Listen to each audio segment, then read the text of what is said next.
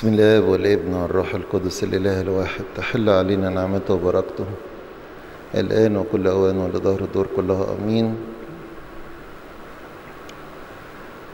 النهاردة بنعمة الله ناخد المحاضرة الثامنة من القرص الخامس. والقرص تحت عنوان الأرثوذكس ونقاط الخلاف مع الخلقدونيين اتكلمنا في خلال هذا الكورس عن بعض وأهم نقاط الخلاف. خدنا محاضرتين عن المصطلحات محاضرة عن المصطلحات بحسب تعريفات الآباء ومحاضرة أخرى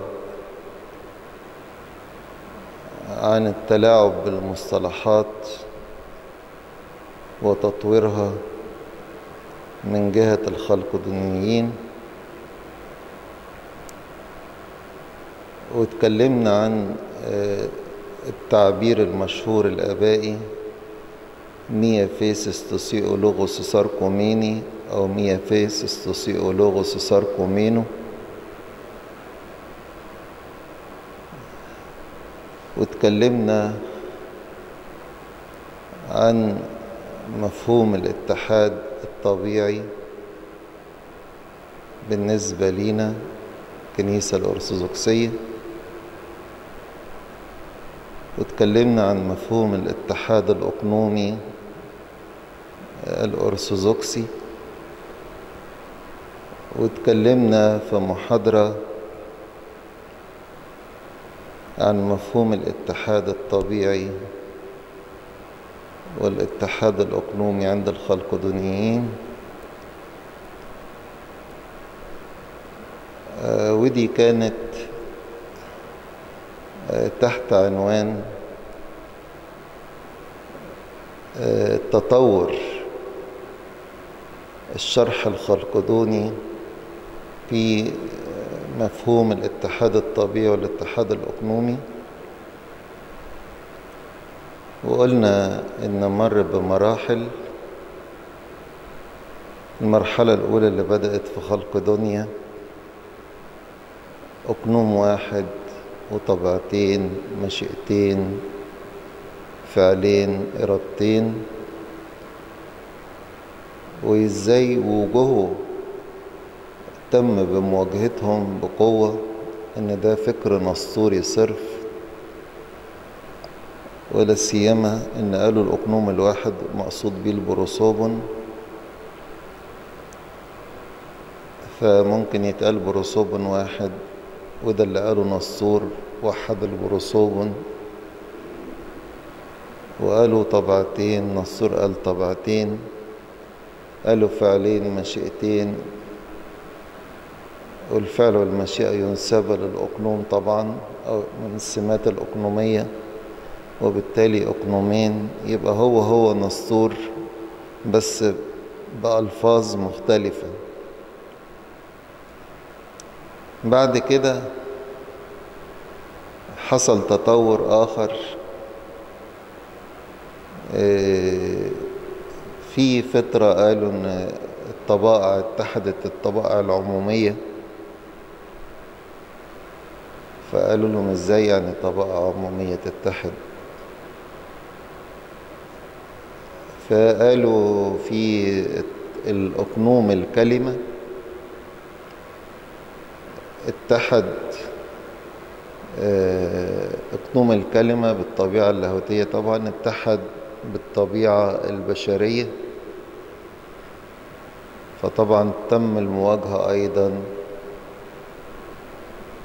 طب أين ليه بتقولوا أقنوم واحد؟ ما هو لو طبيعة بقوا طبيعتين يبقى لابد أن يكون في برضو أقنومين. لأن مفيش طبيعة من غير أقنوم. ففي التطور اللاحق بقى طلعت نظرية التأقنم. إن الطبيعة البشرية كانت ملهاش أقنوم. وتأقنمت بأقنوم الكلمة. أو تشخصنت. ممكن يتقال كده وممكن يقولوها كده يعني. واتكلمنا المرة اللي فاتت عن الجزء الأول المحاضرة اللي فاتت كانت تعتبر جزء أول في نظرية التأقنم باعتبارها ابتكار خلقدوني. هنستكمل النهاردة الحديث عن نظرية التأقنم اللي هي قالوا إن أقنوم الكلمة اتحد بالطبيعة البشرية وملهاش أقنوم وبدأوا كان في تعريفات جديدة للمصطلح إيه هو قالوا هو الذي يملك الطبيعة. طبعا تعريف جديد. وهو مركز الفعل. مركز الفعل ماشي. لكن الذي يملك الطبيعة دي حاجة كانت جديدة خالص. وقالوا بقى مش بيملك طبيعة واحدة ممكن يملك أكتر من طبيعة. واتكلموا عن الأقنوم كما لو إنه ممكن يبقى كيان مستقل. يمكن أن نتخيله بدون طبيعة. يشيل طبيعة إلهية بقى أقنوم لاهوتي. ممكن يشيل طبيعة تاني يبقى أقنوم للطبيعة اللاهوتية والطبيعة النفسية. طبعا كلام فلسفي نظري غير واقعي وغير منطقي. المراحل دي بدأت من مجمع خلق دنيا تطورت ببطء في الفترة من مجمع خلق دنيا لبداية عصر جستنيانوس هو في العصر ده مدمج في عمه أو خاله الأول جستين وبعدين جستنيانوس يعني. الفترة من 451 لغاية حوالي 532 كانت الغلبة دائما والفكر السائد هو الفكر الأرثوذكسي. وكان حصل اتحاد للكنائس في كذا مرة. كان في منشور الاتحاد اللي هو تم في عصر باسيليسكوس وده كان مؤيد تماما للإيمان الأرثوذكسي. وده كان في عهد البابا تيموساوس وكان له دور كبير جدا في صياغة هذا المنشور عشان كده كان منشور بنوده قوية جدا. في منشور لاحق ليه اسمه الهينيتيكون كان في عصر الإمبراطور زينون. جه بعد كده الملك أنستاسيوس أو الإمبراطور أنستاسيوس وده كان أفضل الأباطرة في ذلك الحين وكان إنسان تقي. وفي عهده ازدهرت الأرثوذكسية. وكان اترسم بقى القديس ساويرس الأنطاكي.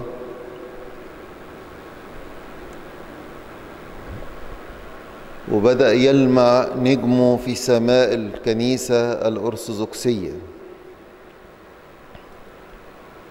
ما عادش كتير اترسم سنة 512 واستمر لغاية 518 وتغير الملك.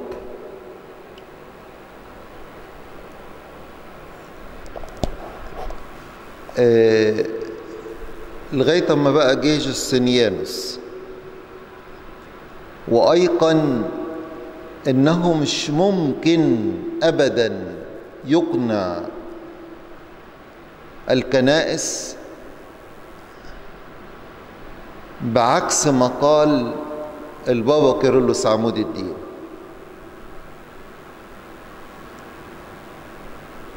فكان الفكر بقى اللي ورد ليهم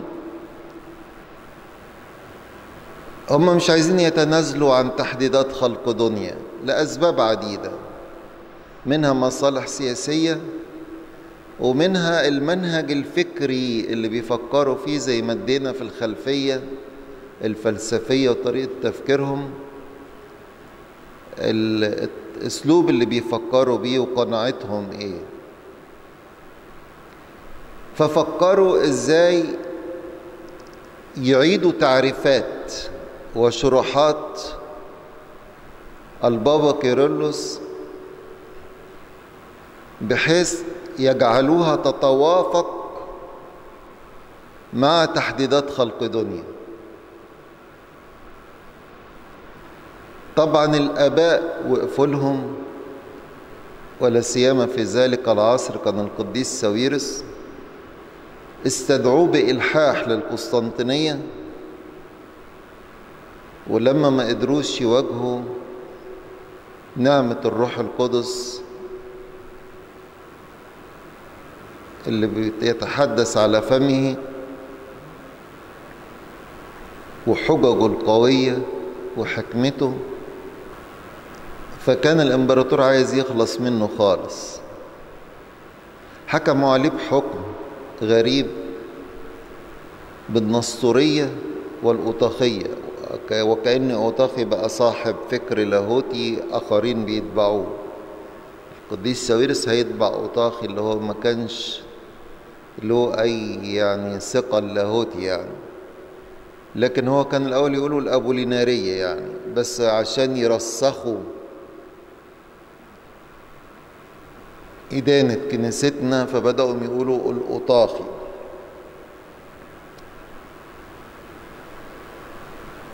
في حين إن كان العكس أنا طبعا ده مراجعة أنا مش بشرح تاني بس بديكوا نبذة مختصرة عشان النهاردة هتكون المحاضرة الأخيرة في هذا الكورس. بدأوا خلصوا أو استبعدوا القديس ساويرس وبدأوا بقى في إصدار المؤلفات والتعليم اللي يحاولوا تطويع كتابات القديس كيرلس لتوافق خلق دنيا.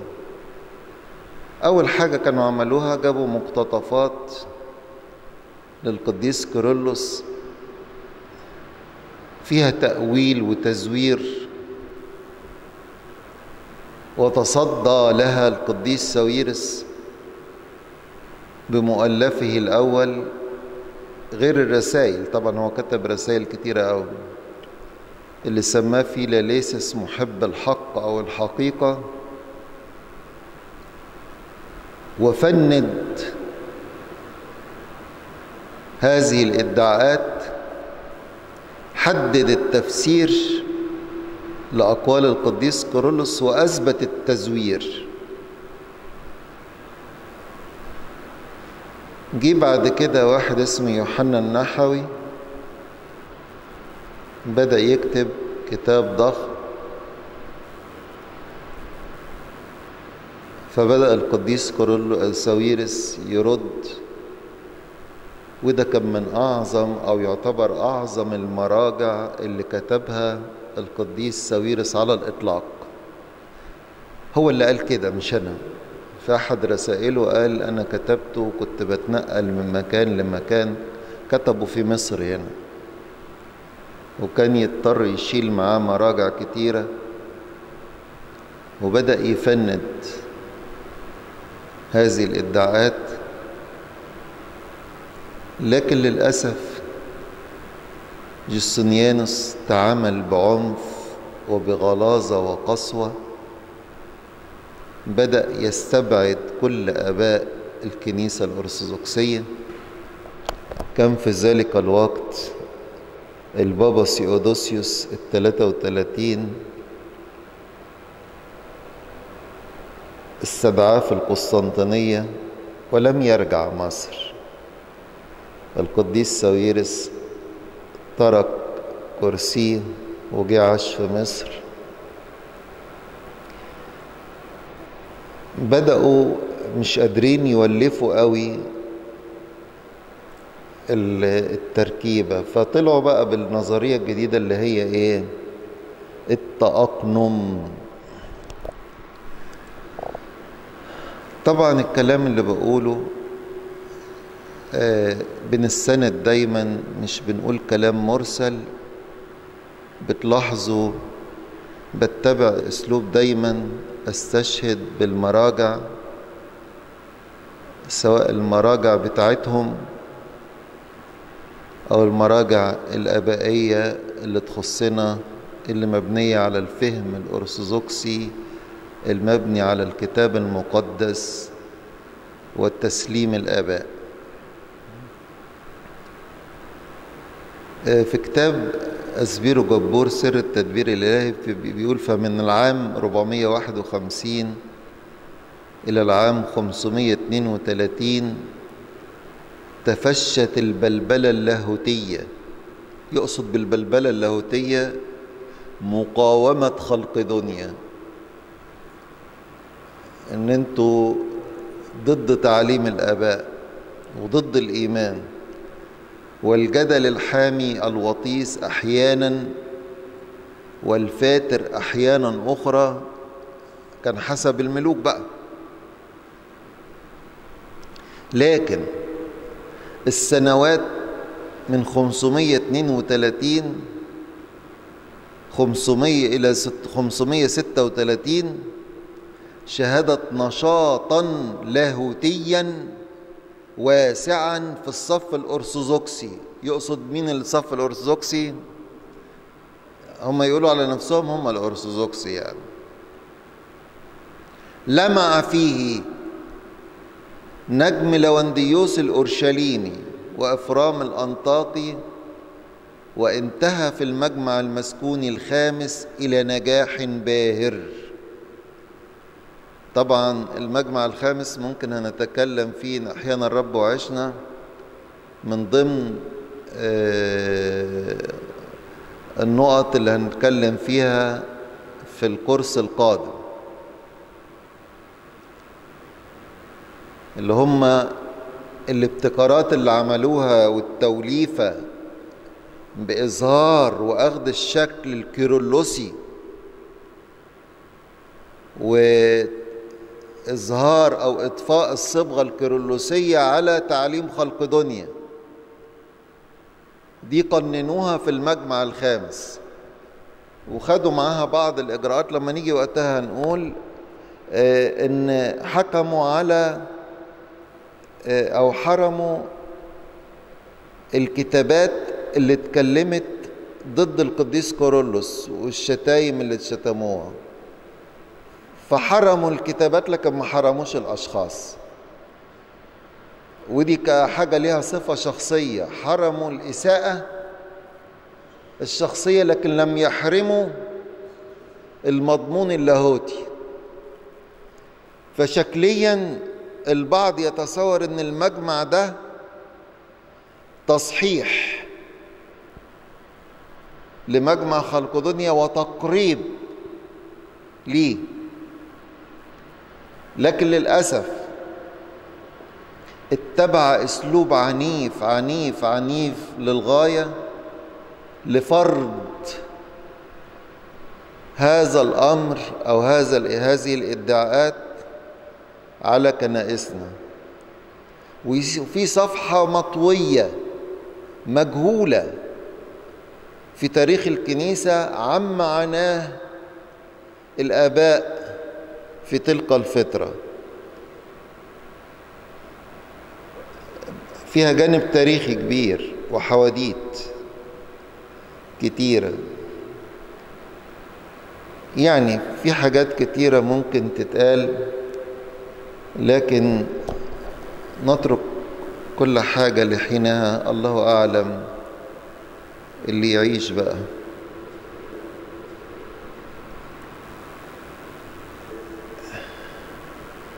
في كتاب برضو سر التدبير الإلهي يقول إيه؟ إحنا برضو بنستكمل الحديث اللي فات بتاع المرة اللي فات بيقول لما اشتدت وطأة الخلافات بعد مجمع نقية كان من حظ أبوليناريوس أسقف اللاذقية لاذقية سوريا أن حرف الأنظار إلى الحديث عن اتحاد الطبيعتين في يسوع المسيح فشحذ اللاهوتيون قرائحهم فقد تنبه أبوليناريوس إلى أن وجود إنسان تام بدون شخص أو أقنوم مستحيل.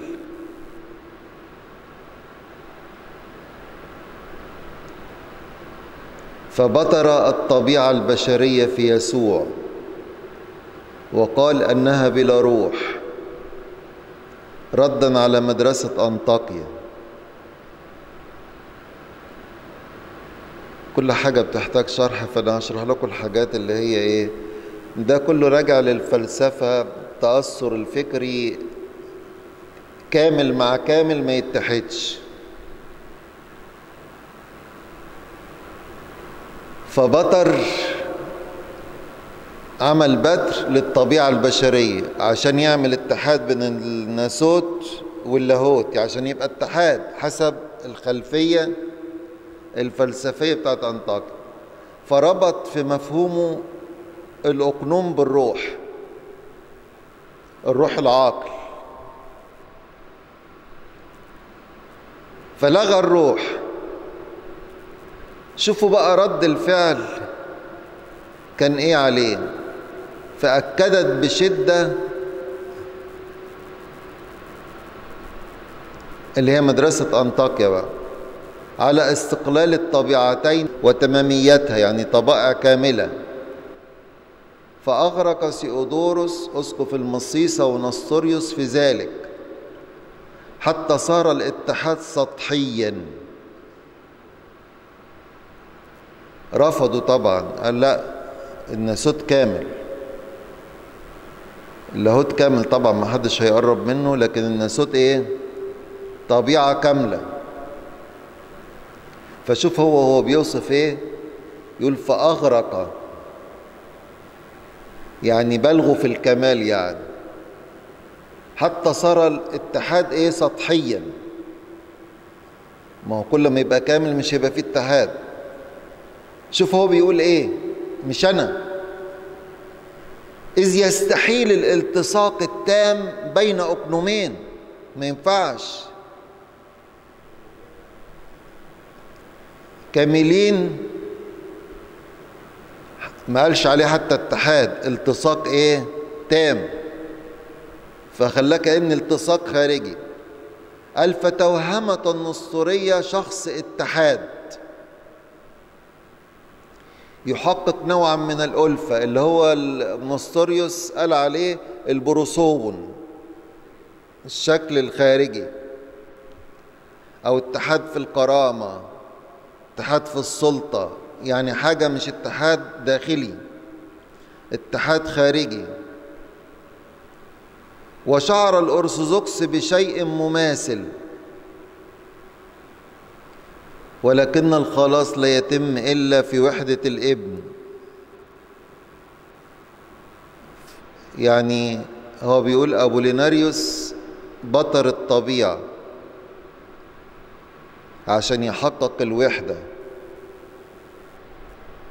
جه ضده مدرسة أنطاكيا بسيودوروس أسقف المصيصة. ونسطور خلوا الاتحاد سطحي واهي.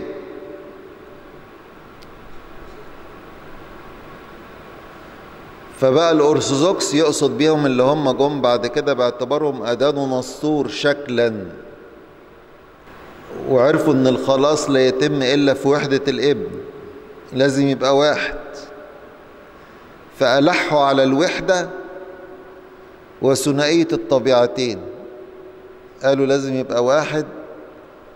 نصور قال الوحدة في البروسوبن. فقالوا ما ينفعش لازم في الأقنوم. فجه سيودوريتوس في مجمع خلق دنيا قال أقنوم واحد في طبيعتين ومشيئتين. وراح زود التعريف وقال والأقنوم نقصد بيه البروسوب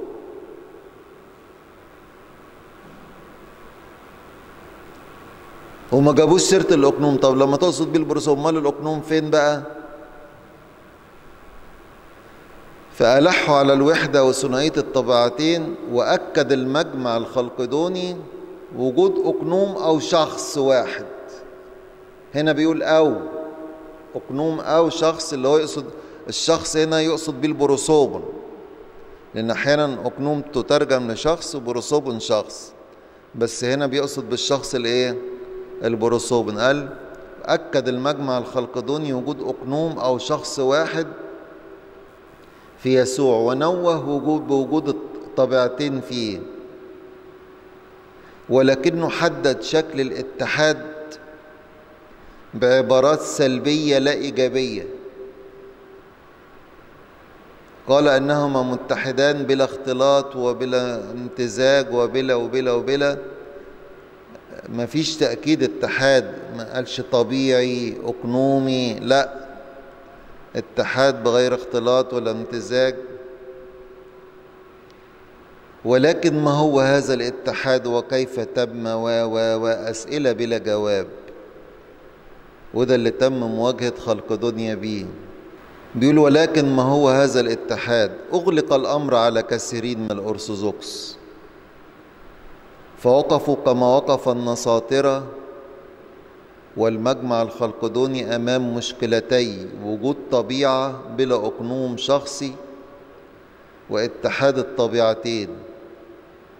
إزاي عشان يعملوا اتحاد لازم يبقى في حاجة مش كاملة؟ طب مفيش طبيعة بلا أقنوم. إزاي يبقى في طبيعة بلا أقنوم؟ وإزاي تتحد الطبيعتين؟ فكانت مشكلة. يخرجوا منها إزاي؟ فجزموا بوحدة الأقنوم. قالوا الأقنوم ده مش لازم يبقى واحد. فجزموا بوحدة الأقنوم والطبيعة مع التأكيد على تمامية اللاهوت والناسوت في الأقنوم الواحد. فظنوا أنهم حلوا المعضلة بذلك وأبقوا على متانة اتحاد الطبيعتين في يسوع. ونشب الخلاف إلى يومنا هذا دون مبرر صحيح. فالخلاف لفظي لا أساسي. هم يقولوا عليه لفظي بالنسبة لنا يعني. المشكلة هي أننا أمام إله وإنسان متحدين بدون اختلاط. فكيف يمكن إنقاذ الوحدة مع التمييز؟ كما مر معنا ذلك في سر التثليث حين كنا أمام واحد يساوي ثلاثة يعني جوهر واحد وثلاث أقانيم دون زوال الوحدة أو الثالوثية. فكانت مشكلة. إزاي يعني يتغلبوا على الحتة دهيت إلى أن أتى الفرج بقى. فقد أتى التفسير الواضح من لونديوس الأورشليمي في الجيل السادس للميلاد. أما بنقول ابتكار خلقدوني أنا اللي بقول إحنا اللي بنقول حتى أتى التفسير الواضح من لونديوس الأورشليمي في الجيل السادس للميلاد.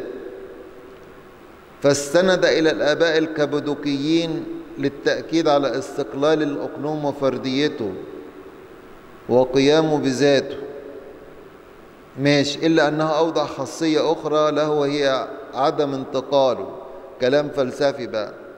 فالإنسان مركب من جسد ونفس والنفس كاملة كنفس والجسد كامل كجسد ولكل منهما جوهره المتميز عن الآخر ولكنهما يؤلفان الطبيعة البشرية التي نشاهدها في أفراد الجنس البشري والتي انتقلت إلى الأفراد بالتناسل. فالطبيعة البشرية موجودة في كل فرد وكل فرد شخص خاص بما يميزه عن سائر الأشخاص. لا يشاركه فيه أحد وهو مميزه الصحيح ولا ينتقل منه إلى أحد. الشخصية ما بتتنقلش يعني كل واحد له شخصيته الخاصة. وفي الرب يسوع اتحد الإله والإنسان بصورة خاصة تفوق الأفهام فلم يؤلفها طبيعة واحدة خاصة يمكن تناقلها. لسنا أمام لاهوت ناسوت هو قابل للانتقال كما هو الحال مع الطبيعة البشرية. يتناقلها الناس وهكذا نكون أمام خاصية جديدة للأقنوم ألا وهي عدم التناقل والانتقال. فاتحاد اللاهوت بالناسوت أمر يفوق الأفهام نسجد له بخشوع وإيمان تم في أقنوم الابن الله. فقد اتخذ طبيعة بشرية لا أقنوم لها. الكلام بقى إيه؟ كله فلسفي. ده بيتنقل وده ما بيتنقلش فإيه المشكلة؟ فقد اتخذ طبيعة بشرية لا أقنوم لها وإلا أضحت شخصا بشريا يستحيل هدم شخصيته إلا بهدم كيانه الذاتي. والاتحاد بين شخصين اتحاد خارجي غير عميق. اتحاد خارجي لأن الخلفية كده. فلا يتم الخلاص به ولا يكون يسوع المسيح قد فتح باب الاتحاد بالله إلا للشخص الذي اتخذه. خلي بالكوا دي. ولا ولا يكون قد فتح إلا للشخص الذي إيه؟ اتحد بيه بس. أمال هو اتحد بمين؟ أما إذا قلنا أنه اتخذ طبيعة بشرية فإن الاتحاد ينفتح أمام أفراد الجنس البشري جميعاً.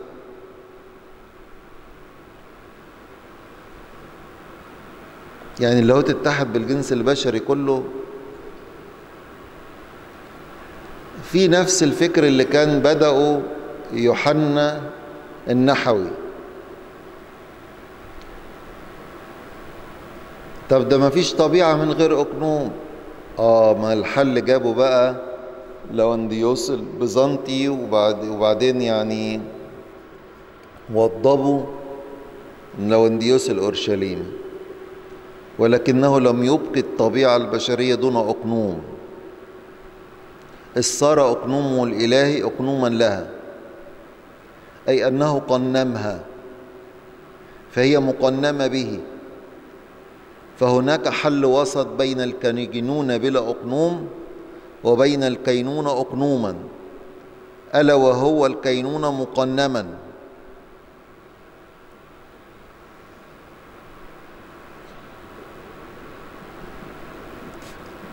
مفيش كينونة بلا أقنوم مفيش طبيعة من غير أقنوم من غير ما يكون لها أقنوميتها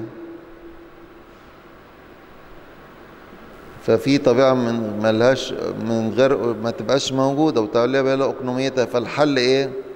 طبيعة بس تتقنم تبقى لها إيه؟ ألا وهو الكينونة مقنما وهذا ما تم للطبيعة البشرية في يسوع. فهذا الحل كان مشكلة. فهذا الحل الموفق. فكرة. حد عرف تعريف واقعي عقلاني منطقي مش منطقي لكن نظريا ظبط الحسبة تمشي. فهذا الحل الموفق يقر بوجود طبيعتين كاملتين في يسوع وبوحدة الأقنوم. وباتحاد الطبيعتين اتحادا وثيقا لأن في واحدة كاملة وواحدة إيه؟ مش كاملة فممكن يبقى في اتحاد. مين اللي قال كده؟ أبوليناريوس ومين اللي قال في طبيعتين؟ نسطور فإذا هم كوكتيل من الاثنين وباتحاد الطبيعتين اتحادا وثيقا عميقا جدا لا وهن فيه أبدا فأقنوم ابن الله وأقنوم للطبيعتين. بدون أن يتجزأ أو يطرأ, يطرأ عليه تغيير الطبيعتان موجودتان في الأقنوم الواحد. يسوع واحد رب واحد ابن واحد كلمة إله واحد. متأنس. لذا فالجسد هو جسد ابن الله فسبحان الذي لبس طبيعتنا ليسربلنا مجد لاهوتي ويختصنا لنفسه نسلا مقدسا في الروح القدس. والحمد لله الآب الذي رحمنا بابنه يسوع المسيح. فهو كل الكلام اللي بشرحه لكم لخصه النظريات كلها من من بداية للنهاية وعرفنا إن الحل جه في القرن السادس بواسطة لونديوس الأورشليمي وحللنا المشكلة بقى اللي ما كانوش عارفين يردوا عليها ويفسروها. حلوها فلسفيا.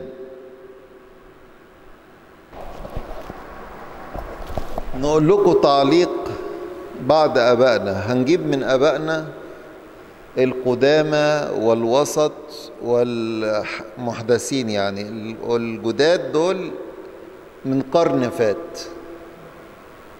دول اللي هنعتبرهم إيه؟ جداد. في كتاب تنوير الأذهان بالبرهان إلى ما في عقائد الكنيسة الغربية من الزيغان. يقول إيه؟ إن قول الخصم بأن المسيح أقنوم واحد هو نفس القول بأنه طبيعة واحدة لأن الأقنومية ليست بشيء زائد عن الطبيعة والاختلاف بينهما يقوم بالذهن فقط. ودعوة الخصم بأن نسوت مولانا المسيح الكامل الفاعل بفهم وحرية ومشيئة. تقنم بأقنوم لاهوته هي دعوة المغلوب على أمره الهارب من المعمعة بالفشل لأن الأقنوم حسب قانون المنطق هو الفصل الذي يجعل جوهر زيد مخصوصا لزيد ويميزه عن جوهر عمرو. وبهذا القانون عرفنا أن ناسوت مولانا المسيح هو غير ناسوت صفا وبولس وأبني الرعد. حسب تعريفات الآباء للأقنوم السمات اللي تفرد وتميز. طب السمات دي هتبقى سمات لاهوتية ولا بشرية؟ وبعدين ده عشان نشوفه ونميزه. طب ده أصلا أقنوم الملأ الكلمة غير مرئي. فهنميز المسيح ناسوتيا إزاي؟ إن لم تكن له السمات الأقنومية بتاعته. كلام أبائنا منطقي واقعي. نرجع لقول تاني من برضو سر التدبير الإلهي. خلي بالكم. بيقول لونديوس البيزنطي ومكسيموس المعترف والدمشقي قدموا توضيحات مفيدة. إلا أنها عسيرة. عسيرة يعني إيه؟ هم نفسهم مش فاهمينها. عشان ما تشكوش في نفسكم.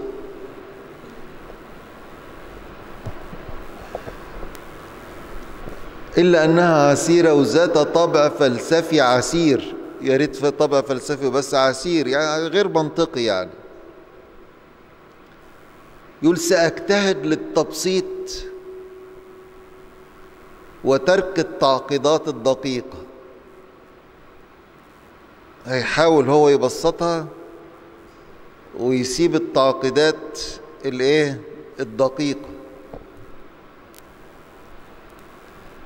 خلي بالكم لأن هو خلي بالكم اللي بيقول نفسه بي شيء عسير يقول هناك طبيعة مفترضة في الخيال ليس نسوت يسوع كذلك.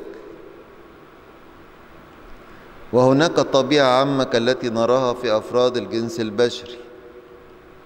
فالإنسان شخص مؤلف لروحه خواص ولجسده خواص. هو أقنوم مؤلف منهما. هو مرتبط بالولادة والموت لذا هو نوع.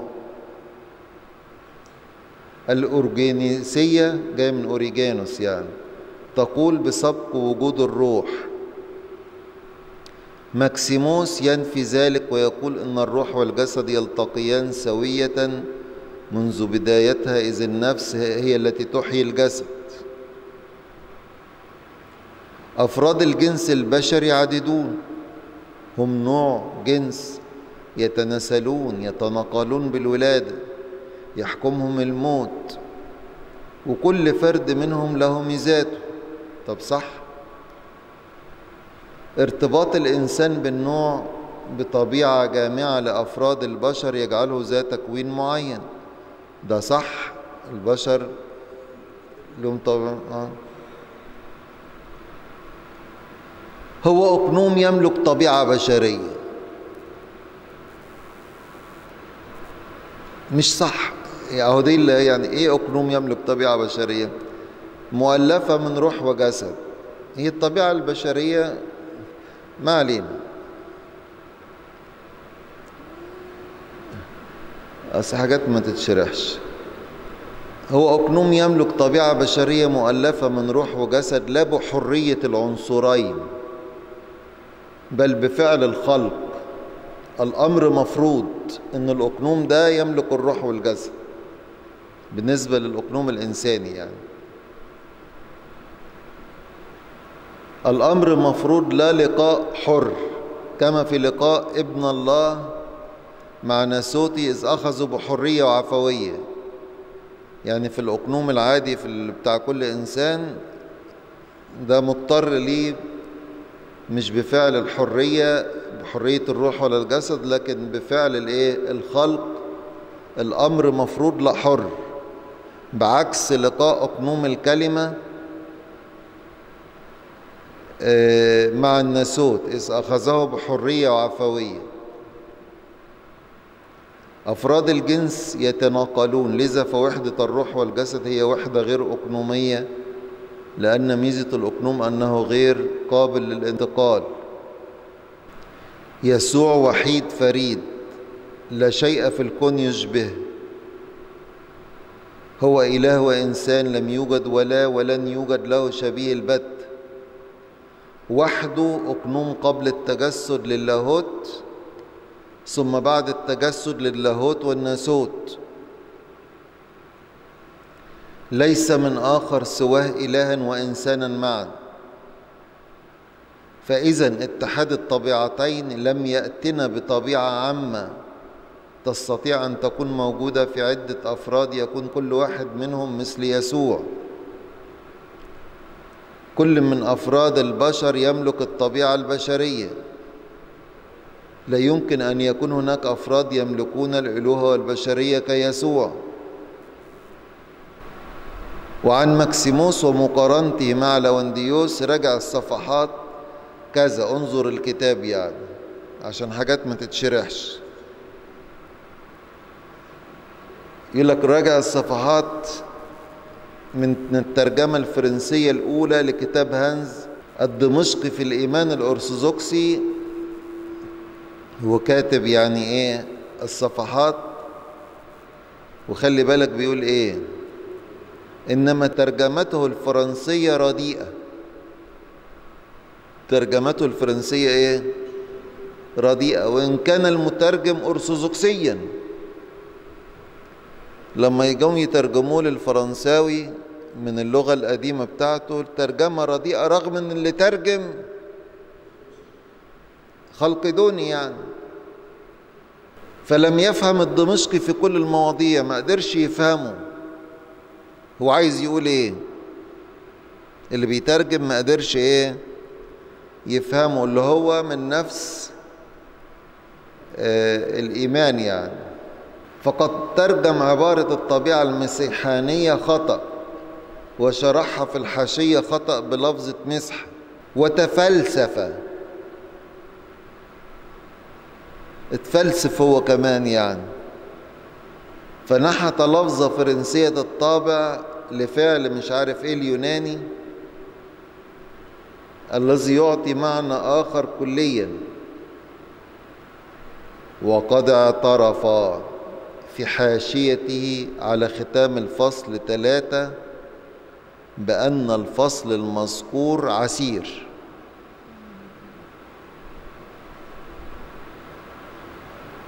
الفصل المذكور إيه؟ عسير ما يتفهمش. طبعا هو ما يتفهمش مش عشان عبقرية وذكاء فوق ال... عشان مش منطقي. لا يعقل. عارف لما واحد يتكلم كلام مش منطقي كده يعني إيه اللي بيقوله ده؟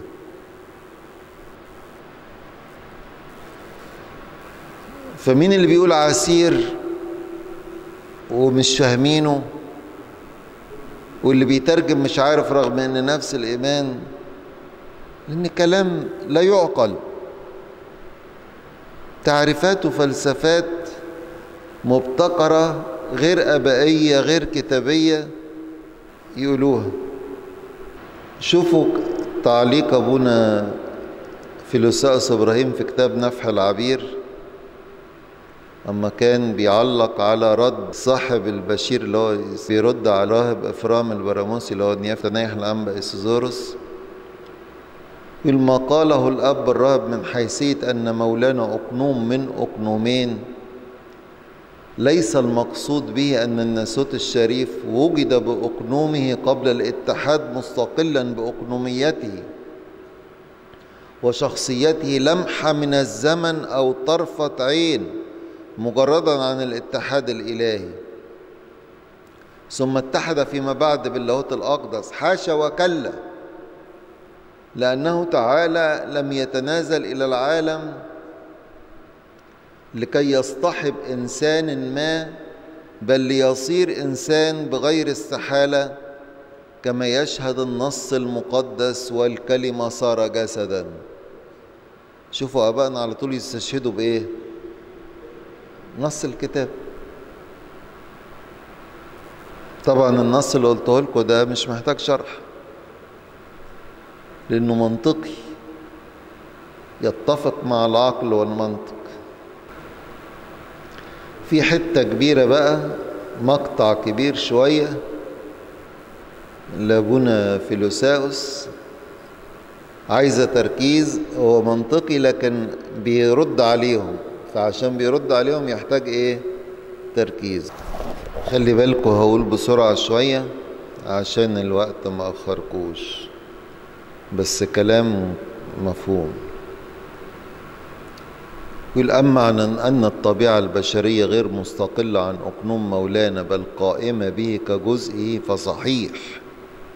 يعني عمرنا ما بنقول أن الطبيعة البشرية بأقنوميتها كانت مستقلة ده وجدت في الاتحاد. ولو كنا نتوهم استقلالها بنفسها لكنا اعتبرنا مولانا طبيعتين إلا أن ذلك لا يترتب عليه مش معنى أن هي ما توجدتش مستقلة أن يترتب عليه أن الطبيعة المشار إليه غير مقنمة. لأن عدم استقلالها ليس هو إلا كونها لم تقم بأقنوميتها منفصلة عن أقنوم اللاهوت. يحتاج شرح الكلام ده؟ واضح. بالنسبة ليكوا عشان شرحت لكم قبل كده يعني. إلا كونها لم تقم بأقنوميتها منفصلة عن أقنوم الكلمة.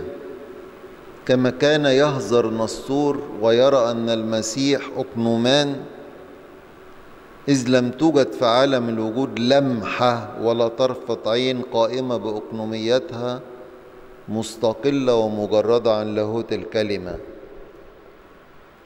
بل من أول أحوال إبداعها بسر الكلمة وجدت متحدة معه الاتحاد الذاتي وهذا كما أنه لا يعدم كونها جوهرا حقيقيا خاصا لا يعدم كونها أيضا ذات أقنومية. لأن الأستاذ ولو أنه حصر وصفها في لفظتي جوهر خاص لكنه لا يسع البت القول في أنها غير كاملة وغير تامة وإلا عارضه الإجماع وكل ذي عقل. أي نعم لا يمكنه أصلا أن يرتب الطبيعة الناسوتية الشريفة في القسم الثاني من قسمي الجوهر الخاص. الذي قرر عنه أنه الجوهر غير الكامل وغير التام الذي لا يقوم بنفسه بل بغيره. عارفين لما قلت لكم الكينونة في تجد حاجة وسط بين كينونة مقنمة وكينونة بأقنوم؟ بيقولوها هنا بطريقة تانية. فبيقول مش ممكن يحطها في القسم اللي قرروا إنه الجوهر غير الكامل وغير التام. الذي لا يقوم بنفسه بل بغيره أن يكون جزء جوهر آخر فيكمل الجزء الآخر ويتكمل منه شأن الأجزاء بالنسبة للكل. تلك التي اتحادها مع بعضها تتكمل بالتبادل ولا تعد أقانيم. والمنة لله لم يفتح لنا حضرته في تفصيل الجوهر الخاص. قسما ثالثا. غير قسمي الأقنوم والأجزاء. إذا كانت أعني الطبيعة النسوتية ولا شك جوهرا خاصا كاملا تاما فكيف تكون بلا أقنومية؟ إن هذا إلا حيفة في النظر. اللي يقول حيفة يعني إيه هنا ياخد مكافأة؟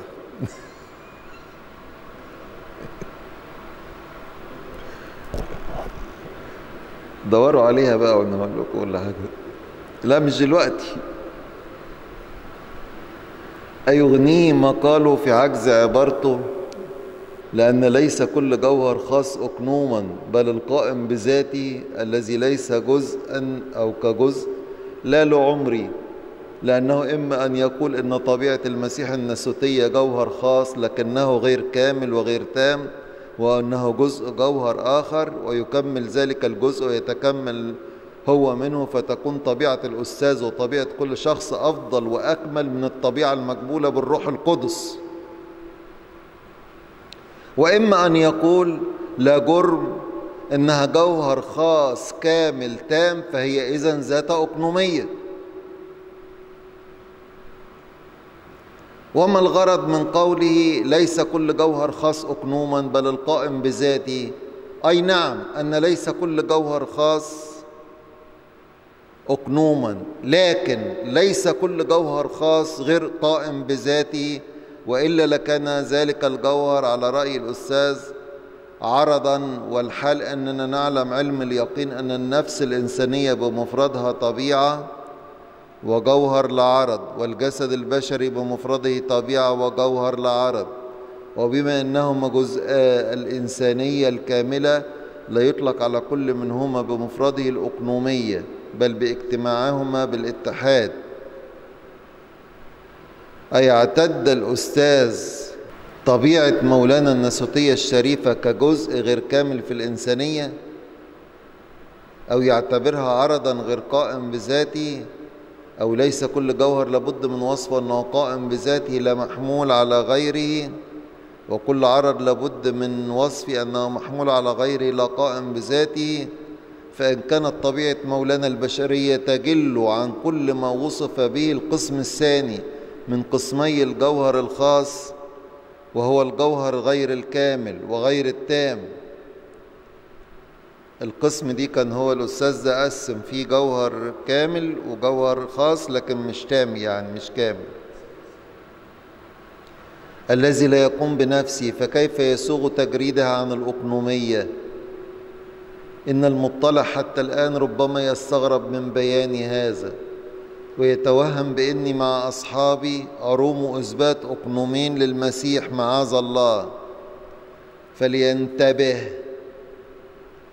إن كنيستنا هي دائما دائما متصدرة في المحاماة عن وحدة الأقنوم. ولو كانت تقبل هذا الرأي المرفوض عدلا لكانت بأولى حجة قبلت القول بالطبيعتين والمشيئتين والفعلين في مسيحنا الوحيد. ولكنها إذ رأت أن القول الأخير أي تثنية الطبيعة والمشيئة والفعل يستلزم القول بتثنية الأقنوم رفضت قبول القولين معا. وما قاله الأب الراهب من حيثية أن مولانا أقنوم من أقنومين.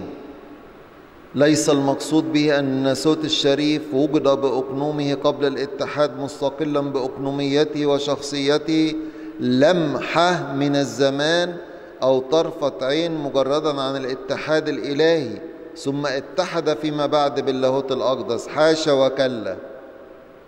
لأنه تعالى لم يتنازل إلى العالم لكي يصطحب مع إنسان ما بل ليصير إنسانا بغير استحالة كما يشهد النص المقدس والكلمة صار جسدا وحل فينا وقد أبصرنا مجده مجد وحيد من الآب مملوء نعمة وحقا. ولذلك لما شاء الكلمة الأزلي أن يتجسد بمسرة أبيه الصالح جبل بالروح القدس من دماء السيدة العذراء الكلية القداسة جسدا طاهرا مكملا بنفس عاقلة ناطقة.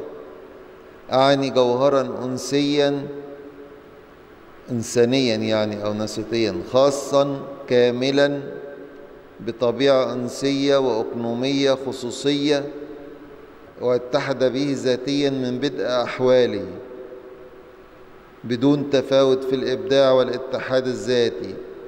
وقولنا جبل الجوهر الناسوتي كاملا بأقنومية لا بمعنى أن الناسوت الشريف قام بشخصية خصوصية مجردة عن الاتحاد الذاتي باللاهوت الأقدس بل فقط باعتبار كونه أي الناسوت جوهرا قائما بذاته لا عرضا محمولا على غيره خاصا مفردا لعاما.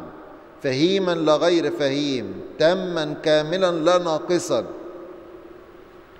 ومن كانت هذه الصفات صفاته فليس هو ولا شك شيئا آخر غير الأقنوم.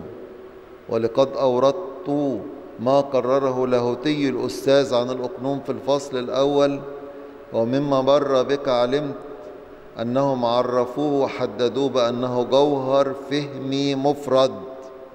تعريف الأقنوم يعني. على غاية الكمال قائم بنفسه في الطبيعة الناطقة وإن الأقنومية ليست هي شيئا آخر غير قيام الطبيعة الفهمية. وقال أيضا الشهير توما يقصد توما الإكويني هو بيستشير له بلاهوتيين من الكنائس الغربية. في المجلد الثاني من كتابه المذكور آنفا صحيفة كذا ليس كل جوهر جزء يقنوما بل ما كان مستوفيا حقيقة النوع استفاء تاما ولعمري ما كان الناسوت الشريف إلا على هذه الصفة. وقال صاحب كتاب ميزان الحق السابق ذكره في باب العلم النظري في الجزء الثاني منه في فصل الأقنومية صحيفة كذا أن الأقنوم هو الموجود الذي هو مبدأ وسيد لأفعاله ويطلق على الإنسان لأنه فاهم وحر معا ويفعل بذاته ويحوي مبدأ كل أفعاله العقلية والحسية والطوعية ولهذا إن الأقنومية البشرية تقوم في النفس والجسد معا تقوم في النفس والجسد إيه؟ معا لأن هي الصفات اللي بتميز لي الإنسان بجسده وروحه. وقال في باب علم اللاهوت في الجزء الثاني منه إنما ليس بأقنوم هو ما لا يكون رب أفعاله كالنباتات والبهائم إذ لابد للأقنوم من ضمير وحرية في أفعاله. وإذا كان سيدنا ومولانا ما أخذ إلا طبيعة بشرية كاملة أي فاهمة وحرة وفاعلة بذاتها وحوية مبدأ كل أفعالها العقلية والحسية والطوعية. لا بل إن كنيسة الأستاذ تعترف وتنادي بأن السيد كما أن له طبيعتين كذا له إرادتان متميزتان وفعلان متميزان أعني إرادة وفعلا إلهيين وإرادة وفعلا بشريين. فعدم إطلاق الأقنومية على الطبيعة المأخوذة الكاملة بإرادتها وفعلها لا يلائم قانون الكلام. على أننا في ذكرنا أقنومية الناسوت لا نعتقد ولا نظن أن مولانا أقنومان بل واحد وحيد بالاتحاد الأقنومي. لا بل إن عدم تسليمنا بأنه طبيعتان وإرادتان وفعلان وأن يكن قام حقيقة بالاتحاد من طبيعتين كاملتين واعترافنا بأنه طبيعة واحدة وإرادة واحدة فعل واحد أعني للكلمة المتأنس هو توكيد لحسن اعترافنا بوحدة أقنومه الأوحد. وكما إن اعترافنا بأنه باتحاده الذاتي الجوهري الطبيعي الصائر بين اللاهوت والناسوت لا نعتقد البت أن جوهر الناسوت إن وجد لو لمحة أو طرفة عين مجردا عن الاتحاد الرفيع باللاهوت. فعلى حد ذلك القول بأنه أقنوم واحد بالاتحاد الأقنومي والحاصل أننا نعترف بوحدة المسيح الحقيقية الصائرة عن الاتحاد الذاتي الجوهري الطبيعي الأقنومي الوحدة التي بمقدار نزاهتها عن الاختلاط والامتزاج والتغيير هي منزهة عن التثنية والانفصال والانقسام. قال الأستاذ وعلى الثاني أي على الاعتراض الثاني للأب الراهب نجيب أن الإنسان ما عدا الناسوت ناسوت المسيح هو أقنوم لأنه قائم بنفسه وليأس بجزء جوهر آخر أو كجزء بخلاف ناسوت المسيح القائم بأقنوم الكلمة لأنه خاصته وعدم الأقنومية البشرية ليس بنقص ناسوت المسيح إذ باتحاده مع اللاهوت لم يفقد شيئا من جوهر الإنسانية. بل ارتقى درجة سامية من الكمالات لا يعطى لخليقة البلوغ إليها. قلت هذا الجواب يتلخص منه أمور. واحد إن الإنسان قائم بنفسه ونسد فدين ليس كذلك. إذا كان كل إنسان له أقنوميته ونسوت السيد المسيح ملوش أقنومية يبقى كل الإنسان قائم بنفسه ونسوت فدينة لا. إنه أي أي الإنسان ليس بجزء جوهر آخر أو كجزئه ونسوت سيدنا جزء جوهر آخر أو كجزئه. ثلاثة عدم الأقنومية ليس بنقص في الناسوت الإلهي. أربعة إنه باتحاده باللاهوت لم يفقد شيئا من جوهره بل ارتقى لأسمى الكمالات. هو بيلخص اللي إيه؟ اللي قاله. الفصل ده له رد كبير قوي من أبونا فيلوساوس أنا جايب لكم أمثلة لكن ممكن الكتاب موجود مطبوع اللي ممكن يحصل عليه واللي ما يقدرش على النت موجود. كتاب نفح العبير ردا على شرح البشير. ناخد شوفوا آبائنا ردوا إزاي على فكرة إن اقنوم الكلمة اتحد بطبيعة بشرية بدون أقنوم اللي هي نظرية التأقنم دي ردود أبائنا عليه. الأنبا يساب الأبح طبعا تاريخ سابق أقدم بكتير من أبونا فيلوساوس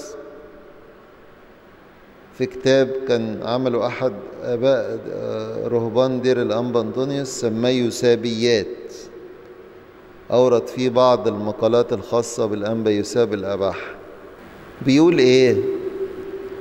ثم نسألكم عن اعتقادكم في المسيح الواحد إنه إله تام وإنسان تام. ونسألكم أيضا عن الأقنوم الواحد. هل تنسبونه للإله أم للإنسان؟ فلابد أن تقولوا إن الأقنوم للإله خاصةً. فعرفونا هل هذا الإنسان ذو أقنوم أم بغير أقنوم؟ فلابد أن تجاوبون قائلين بنقص الأقنومية. فأجيبكم أنه أولا عرفتمونا عن إنسان كامل ثم قلتم ثانية لنا ينقص الأقنومية وصيرتم الثانية ناقضة للأولى لأن الكامل غير الناقص والناقص لم يدع كاملا وصارت السالبة نافية للواجبة ونقضتم اعتقادكم وحدكم وهذا محال. ثم نسألكم أيضا عن الإنسان الذي اتحدت به الطبيعة الإلهية. هل هو إنسان تام أم ينقصه شيء من الإنسانية؟ فلابد أن تقولوا لنا إنسانا كاملا في كل الأنحاء ما خلا الخطية كما قال وقد قررتم واعتقدتم أن الأقنوم للاهوت وحده ونسيتم الناسوت بغير أقنوم. فليحضر الآن بيننا قروز الأمم تلميذ يسوع المسيح تعالى. الآن يا بولس الإلهي وهات معك درج رسالة العبرانيين وخبرنا ماذا نقول وعبد المسيح الواحد يعني هو بيخاطب القديس بولس الرسول يعني. زعم أنه قال بأقنوم تولى تطهير خطايانا. لما جت في العبرانيين بيقول بأقنوم تولى تطهير خطايانا. وبأي نوع طهرنا منها فلابد أن تجيبنا قائلا لنا أنه ما طهر خطايانا إلا بصلبه وآلامه وموته. فمن جوابك بهذا وإقرارك بذلك قد أدخلت الألم على اللاهوت وحده. باعتقادك أن الأقنوم ينسب إلى اللاهوت وحده.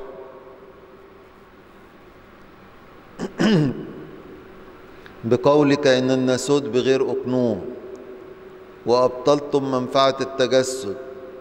لأن صار على رأيكم هذا أن جميع أمثال المسيح التي فعلها لأجل خطايانا مثل الألم والصلب والموت والقيامة إنما كان ذلك جميعه بأقنوم اللاهوت بقولك إن الناسوت بغير أقنوم.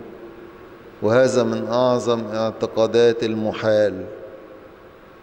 ثم أسألكم عن الإنسان العام من كافة الطبيعة البشرية وما فيها موجود في العالم شخص شخص هل يوجد فيها شخص خاص بغير أقنوم؟ فلا بد أن يقولوا لا. فأسألكم عن الإنسان الذي اتحدت به الطبيعة الإلهية هل له أقنوم أم لا؟ فتجيبون قائلين ينقص الأقنومية فقد أبطلتم سائر الكتب الذي التي تشهد أنه أخذ مال البشرية ما خلا الخطية. ويكون مثل قولكم إن الإله لم يتحد بطبيعتنا كاملة بل أخذ الطبيعة بغير أقنوم وهذه الأقاويل يضحك منها ذو العقول السليمة والفلاسفة وذو النطق.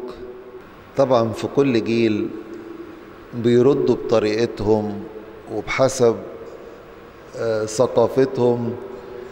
لكن المضمون إن في رفض وعدم قبول لهذا الكلام على مر العصور. نجيب لكم مثل آخر. برضو من الانبا يساب أسلوبه لذيذ.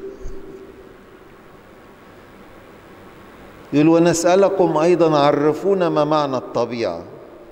فلا بد أن تقولوا الطبيعة هي الجوهر فأجيبكم وما معنى الجوهر.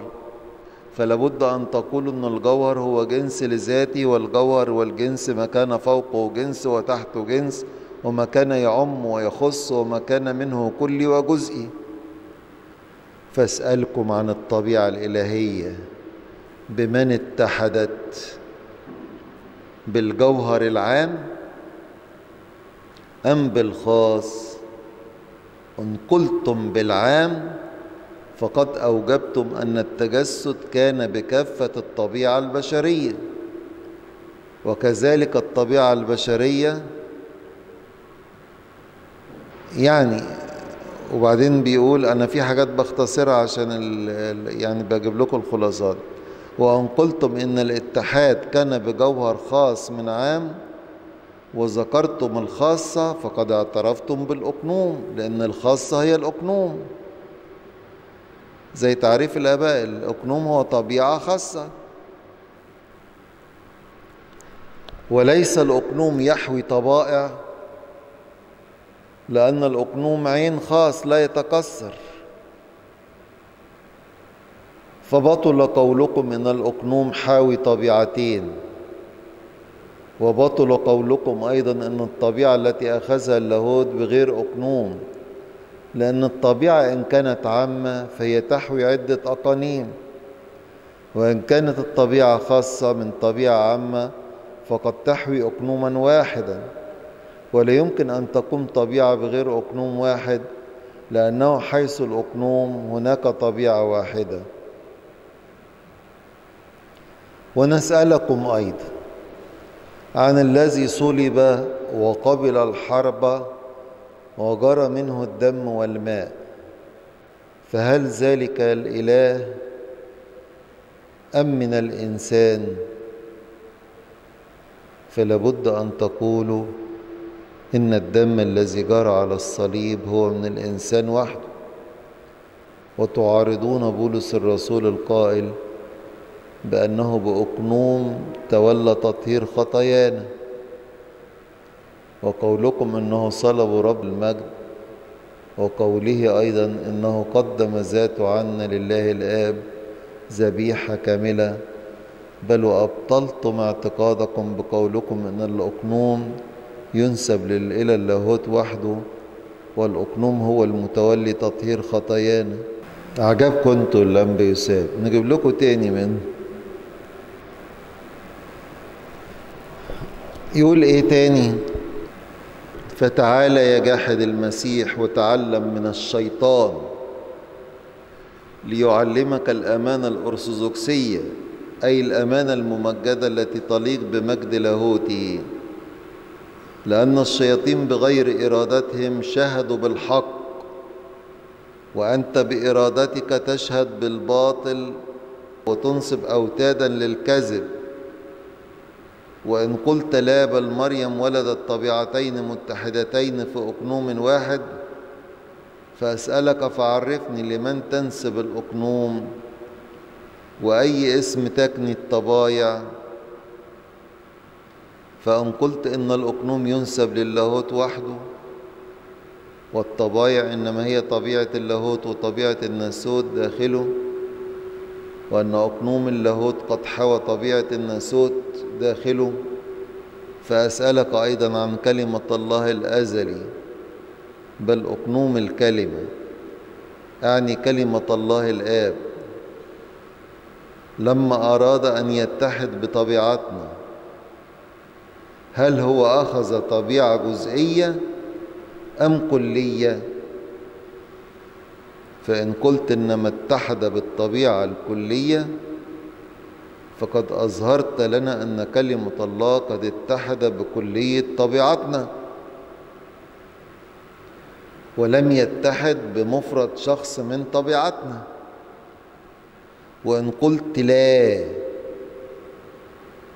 بل كلمة الله اتحد بطبيعة جزئية من كلية فأسألك أيضا بأي اسم تسمي الجزء من الكل والخصوص من العموم.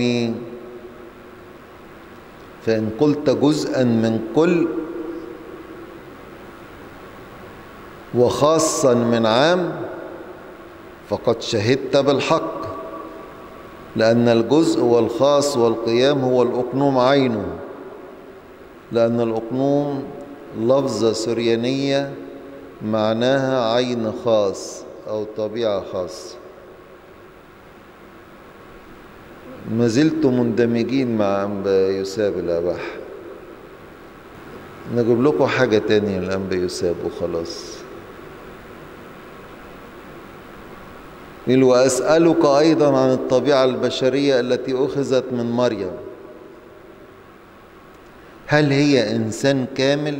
أو تنقص شيء من الإنسانية. فإن قلت أنه أخذ طبيعة بغير أقنوم فقد جحدت قولك أنه إنسان كامل. هل توجد طبيعة بغير أقنوم؟ وليس يوجد أقنوم بغير طبيعة. وحيث توجد الطبيعة وإن شئت الجوهر فثم هناك أقنوم أو أقانيم. إنه بحيث العموم والخصوص تتبع الأقانيم. إنه حيث توجد طبيعة عمومية فهناك أقانيم شتى. وإذا كانت هناك طبيعة خصوصية فثم أقنوم واحد وكلمة الله الأزلي أخذ طبيعة خصوصية من طبيعتنا ووحدها بطبيعته الإلهية. فقد اتحد الأقنوم بالأقنوم. والطبيعة بالطبيعة. وصار أقنوم واحد ومسيح واحد. أقنوم من أقنومين وطبيعة من طبيعتين. مين اللي بيقول كده؟ أنبا يسابل بعد منه بشوية جه بقى العهد بتاع مين؟ أحدث حاجة قلنا نتكلم عنه مين؟ أبونا فيلوساس وأنبأ إيسوزوروس تحت عنوان بيقول إن المسيح واحد بالجوهر لا بالعرض. يقول قلنا فيما مر سابقا أن المسيح جوهر من جوهرين. وبالتالي فأقنوم من أقنومين. كما شاهد كيرلس في الحرم الثالث لنسطور ولتقرير ثبوت أقنومية المسيح من جهة الناسوت نقدم لك برهانا أعلم كما عرفنا فيما مر أن الجوهر قد ينقسم إلى قسمين جوهر عمومي وجوهر خصوصي. فجوهر المسيح الإلهي خصوصي لا عمومي. وإلا فيكون الاتحاد طرأ على الثالوث الأقدس. وذلك منقور عند عموم وخصوص النصارى على حد سواء. لأنه حيث كان الجوهر كان إما خصوصيا أو عموميا. فإن كان خصوصيا كان ذا أقنوم واحد وإن كان عموميا كان ذا أقانيم كثيرة. فهذا هو اعتقاد عموم النصارى. إن المسيح جوهره الإلهي خاص أقنوم واحد وليس بعام. فإذ قد ثبت بالبرهان المسلم أن جوهر المسيح خصوصي هو أقنوم أي الابن الأزلي علينا أن ننظر من جهة أخرى بفكرة صافية وقريحة شافية ونظر خال من التعصب والأغراض الجسدية. ليت شعري أفما نحن وكفة فرق النصارى نقر معترفين؟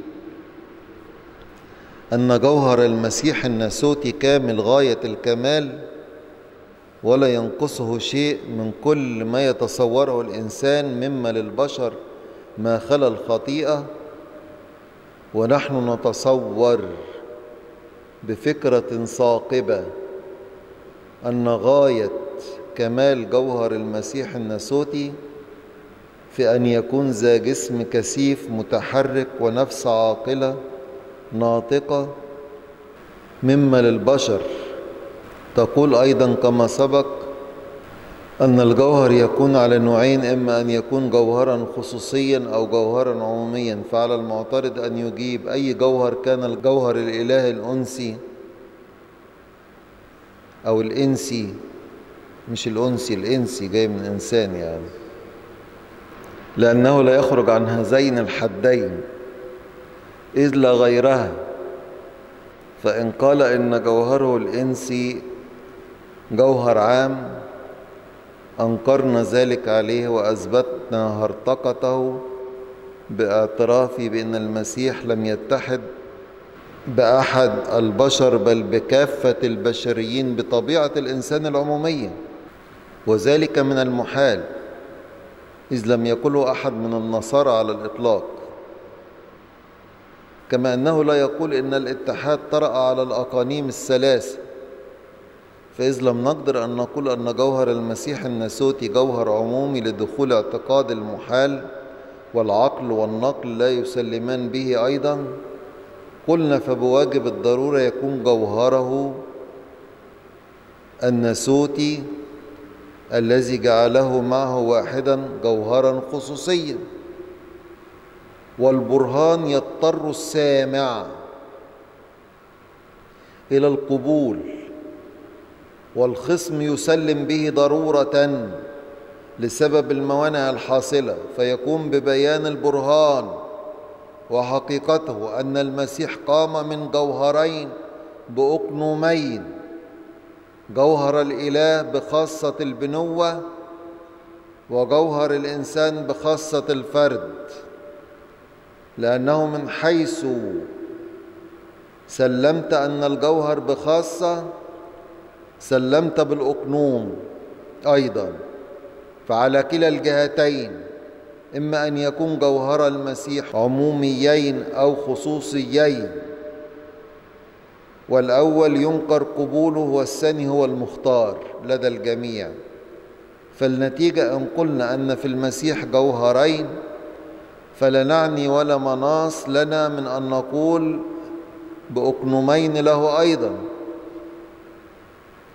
وهذه الحقيقة لم ينكرها كيرلس البطريرك الإسكندراني بل أوضحها بألفاظ لا تتناول ولا تفسر لمعنى آخر ظاهرة باهرة في الحرم الثالث. وبعد فأضاف أن عوضا عن الاعتراف بافتراق الأقنومين يجب أن يوحد بالوحدة الطبيعية. فكيرلس يعترف صريحا أن له أقنومين غير أنها باتحادها بالاتحاد الطبيعي صار واحدا. والمعترض يعترف بخلاف اعترافه قائلا أن المسيح أقنوم واحد وليته يقف عند ذلك بل يضيف أن هذا الأقنوم الموجود في المسيح أقنوم لاهوتي لا ناسوتي. فيجرد الناسوت من الأقنوم زعيما أن الناسوت تقنم بالأقنوم اللاهوتي. حاطط بين قوسين خرافة لم تسبق لها الآباء بذكر.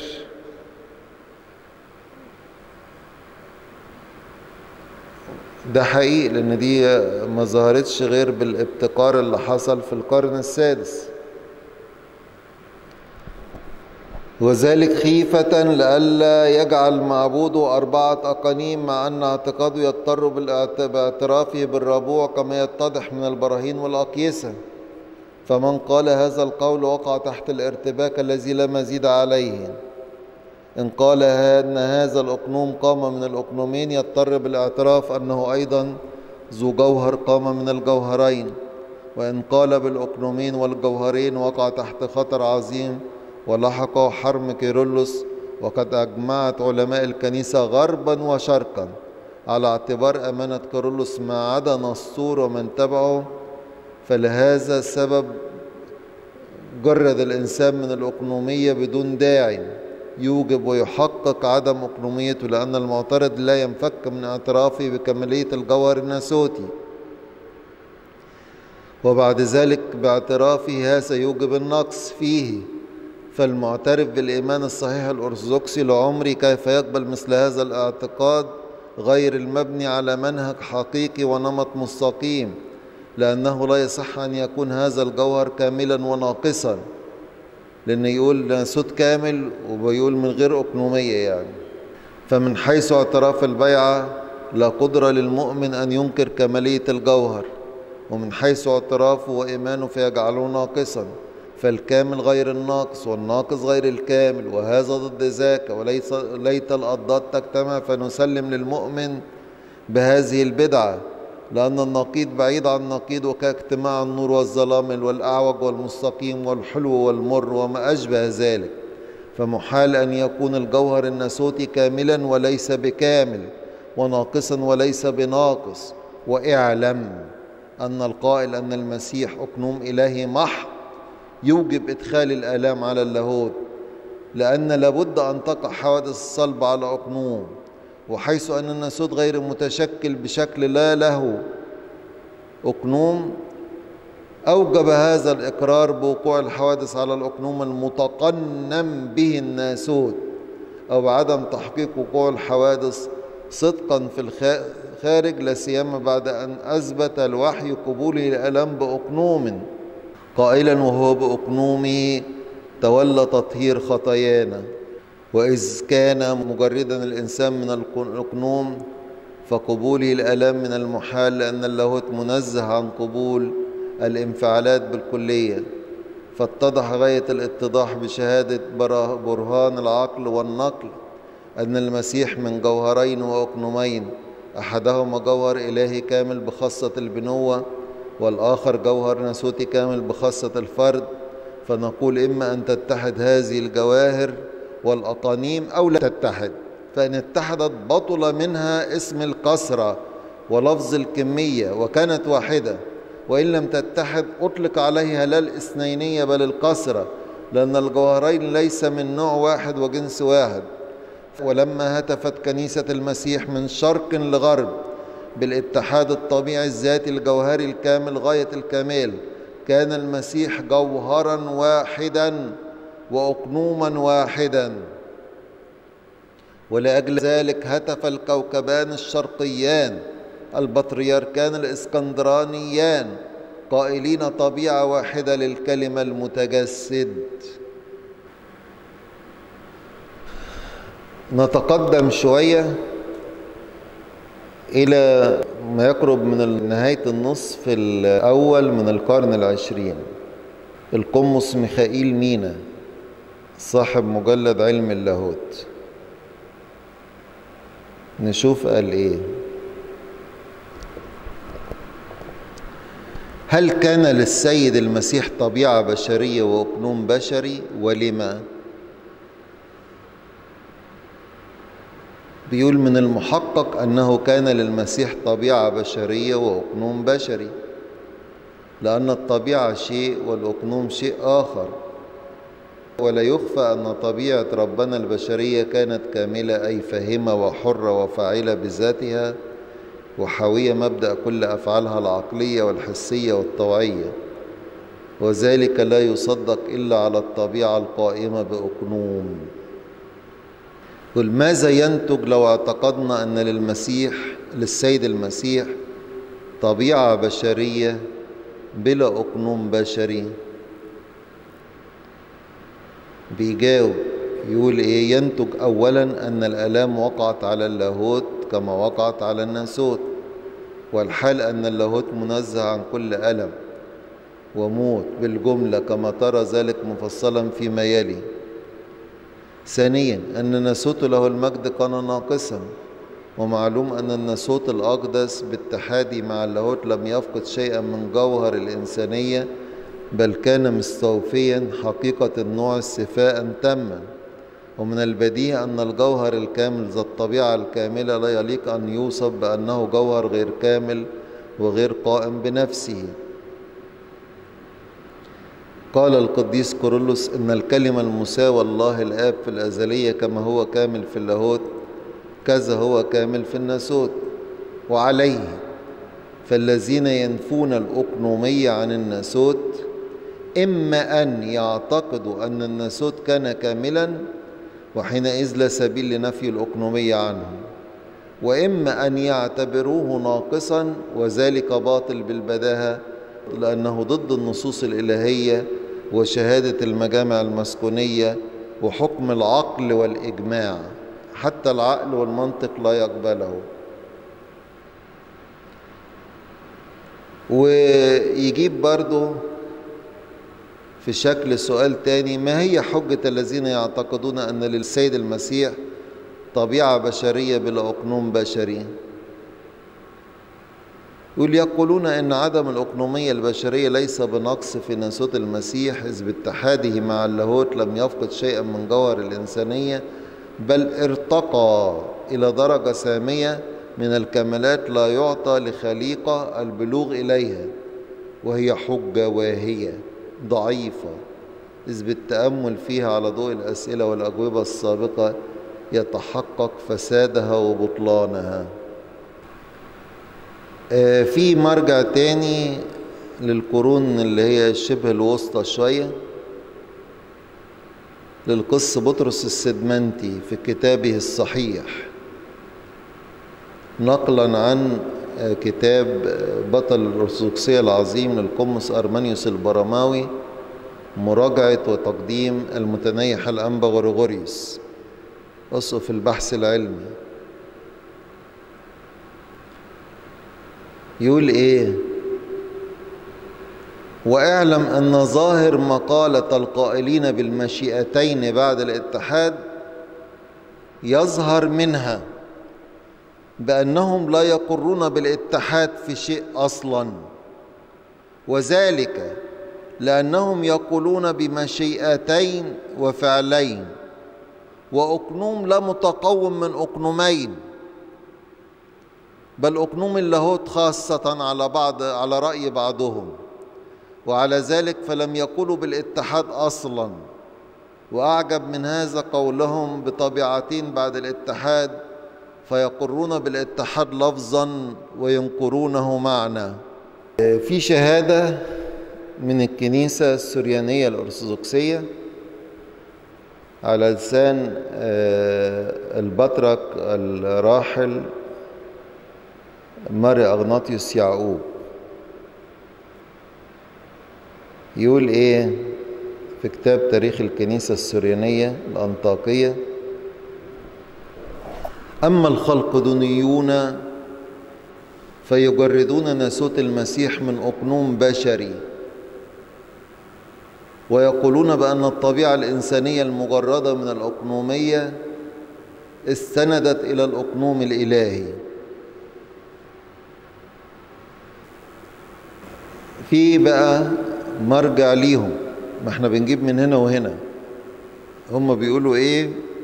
وردود آبائنا إيه؟ يعني بنبين إن آبائنا فاهمين هم بيقولوا إيه يعني على الأقل يعني. هو طبعا الهدف من النظرية دي كلها بأن أقنوم الله الكلمة اتخذ لنفسه طبيعة بشرية ولكن بدون شخصية إنسان. حتى ينفع عن أنفسهم تهمة النسطورية لأن النسطور قال أقنومين وطبيعتين فهم عايزين يوحدوا الأقنوم. طب هيوحدوه إزاي؟ ما هو لو قلنا اتحاد أقنومين هيقولوا طب ما الطبيعتين يبقوا اتحدوا. فهم يقولوا طبعتين فعايزين يقولوا أقنوم واحد فلغوا أقنومية الناسوت بيقول إيه في الكتاب ده؟ بيقول وقد جرت محاولة من هذا النوع قام بها بعض مشاهير العلماء من البروتستانت لإظهار أن الخلاف بين الإيمان الأرثوذكسي والتعليم النسطوري كان لفظيا. ولكن إن كل من كلمة أوموأوسيوس وكلمة سيوتوكوس تدل على عقيدة جوهرية أساسية في إيمان الكنيسة الجامعة فهي ليست قضية عبارات اصطلاحية بل هي قضية عقائد جوهرية ومهما عجز العقل عن إدراك أسرار اللاهوت لا يسعه إلا أن يجد فرقا خطيرا بين تأكيد النسطورية أن الله سكن في شخص إنسان بشخصية بشرية خاصة تختلف عن شخصية الله الساكن فيه والقول أن الله اتخذ لنفسه طبيعة بشرية أي جسدا إنسانيا ونفسا إنسانية ولكن بدون شخصية إنسانية. وهنا قلت لكم خطورة اللي عايزين يدرسوا النسطورية ويردوا عليها فهم هدفهم إن يشوفوا الردود على النسطورية إيه؟ فيرجعوا لمصادر خلقودينية. ففيما هم عايزين يردوا على النسطورية بيؤكدوا الإيمان وهم يتقلهم إن أرثوذكس متحمسين ضد النسطورية. عشان كده لما تلاقوا حد متحمس بشدة ضد النسطورية وما يجيبش سيرة خلقدونيا خالص اعلموا ببساطة أنه متأثر تماما بعقيدة خلقدونيا في ناس كده تبان كأنها شرسة في مقاومة النسطورية. ما يجيبش سيرة خلقدونيا خالص وتلاقوا بيقاوم النسطورية من منطلق خلقدوني إن يقول الفرق بين النسطورية والأرثوذكسية إن النسطور قال إن اللاهوت سكن شخص إنسان لكن إحنا بنقول اتخذ لنفسه طبيعة بشرية أي جسد إنسانية ونفسا انسانية ولكن بدون شخصية إيه؟ إنسانية. طبعا إحنا لا بنقول لا كده ولا كده. عشان كده في بيقولوها أحيانا التأقنم أو التشخصن. ممكن يقولوا شخصية إنسانية أو أقنوم إنسان. فالتأقنم والتشخصن أحيانا مترادفات لنفس المعنى كتب يوحنا الدمشقي. أو يوحنا الدمشقي ده خلقدوني صرف. في ناس تتكلم عنه كأنه يعني من آباء كنيستنا. في ناس سمعتها بتقول كده. ده مين؟ يوحنا الدمشقي. يقول كتب يوحنا الدمشقي إن ميلاد ربنا لم يكن بزرع بشر ولكن بالخلق بواسطة الروح القدس والتشكل. لم يكن بتجميع جزء مع جزء ولكن اكتمل ككل مرة واحدة مع الله الكلمة نفسه الذي كان هو شخص الجسد. الذي كان هو شخص الايه؟ إيه شخص الجسد؟ كلام فلسفي لكن طب إيه اللي فرده يعني؟ ملامح ربنا يسوع المسيح دي كانت هي ملامح الله ال ال يعني اللاهوت. ولا في ملامح ناسوتيه برضه؟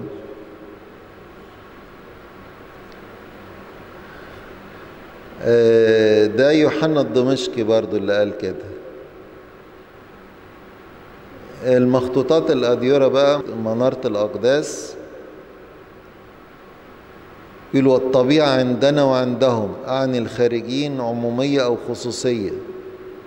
وأما الخصوصية فيقال لها أقنوم. ولذلك لا يمكن أن تكون طبيعة بدون أقنوم. ده فكر كنيستنا مفيش طبيعة من غير أقنوم. نفس المرجع كما أنه لا نقدر أن نبين إنسانية خالية من طبيعة وأقنوم هكذا والخلقدونيين لا يمكنهم أن يبينوا إنسانية خالية من أقنوم وإلا يلزمكم أن تقروا أن الرب أقنومان. هم ليه قالوا من غير أقنوم؟ لو قالوا أقنوم وما بيؤمنوش بالاتحاد أصلا فلابد هيقولوا إيه؟ أقنومين. برضو في نفس المخطوط منارة الأقداس يقول نقول إن الكيان الذي ليس له أقنوم فوجوده بالفعل غير ممكن. ما عدا في العقل فقط كالأجناس والأنواع العمومية زي ما نقول الطبيعة البشرية. ممكن نتكلم عنها من غير أقنوم بنتكلم عن طبيعة عامة. لكن طبيعة خاصة لازم أبص الواحد قدامي يبقى له أقنوميته موجودة. فإن هذين الكيانين أي الطبيعتين الموجودتين بالمسيح كإزعامكم فإن كانتا بالفعل فمن الضرورة يكون لهما أقنومان.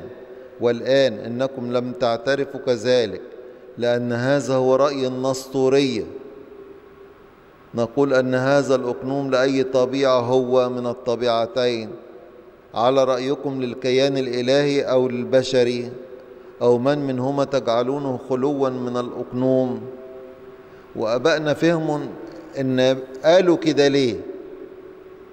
عشان ينفوا النسطورية عنهم وبالتالي يوفقوا نفسهم مع أقوال القديس كورولوس اللي كان بيقاوم النسطورية. في كتاب اسمه الكنز الثمين في أخبار القديسين برضو لأحد الكتاب الخلقدونيين يحاولوا ينسبوا الكلام ده للقديس كورولوس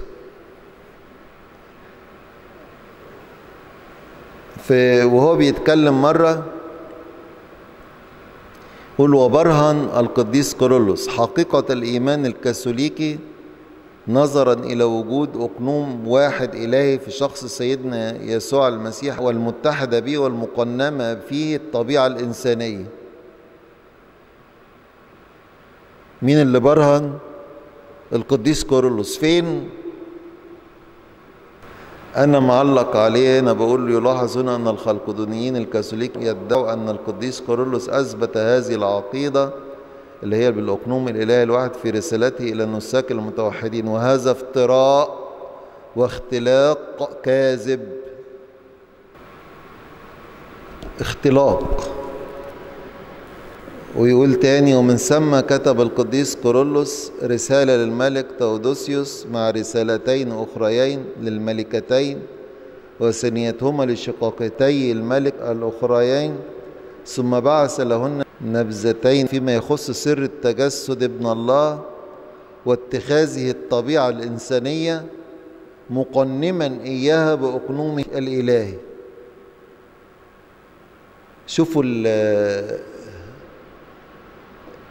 الادعاءات واصله لغايه فين؟ مين اللي قال كده يقول له مين اللي قال كده؟ القديس كيرلس. في حين إن هم نفسهم نفوا عن القديس كيرلس وقالوا إن الحكاية دي ظهرت فين؟ إمتى؟ في القرن السادس. عشان كده في الكورس الحاجات اللي هندرسها قادما هيكون في عنوان كده الخلقدونيون والبابا كيرلس وكتاباته. ده هيكون موضوع كبير. أنتوا فكرتوا ان خلصنا خالص يعني. مم.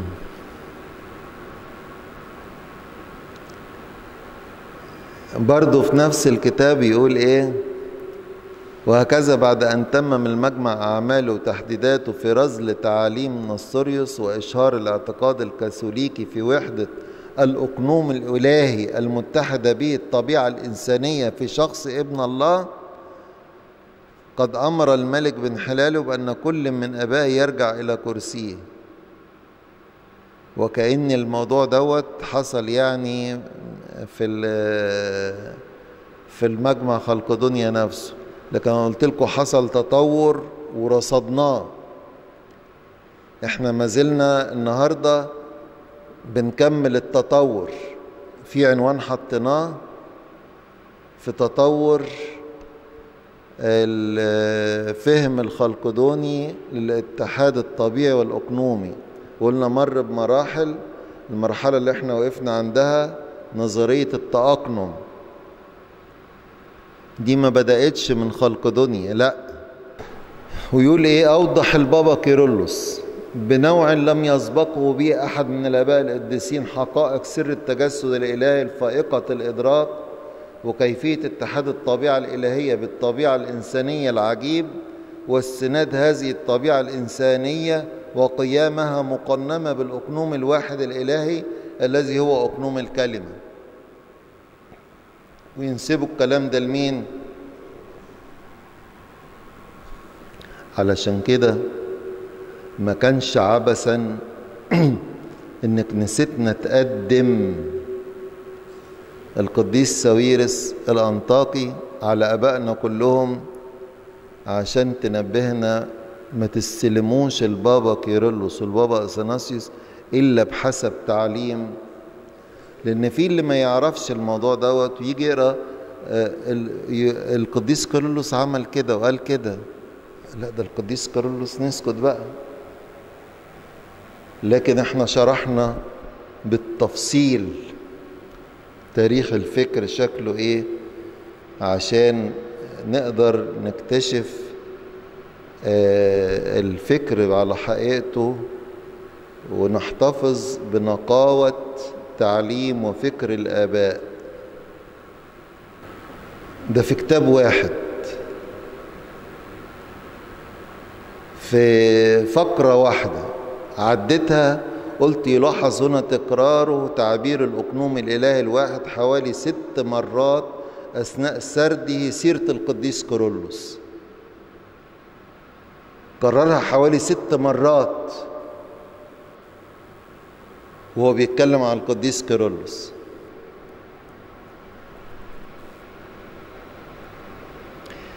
في كتاب سر التدبير الإلهي يقول إلا أن هذا المؤلف لا يفرق بين لونديوس البيزنطي ولونديوس الأورشليمي.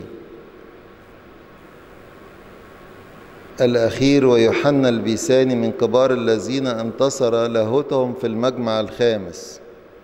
هنا بيتكلم برضه عن لونديوس البيزنطي ولونديوس الأورشليمي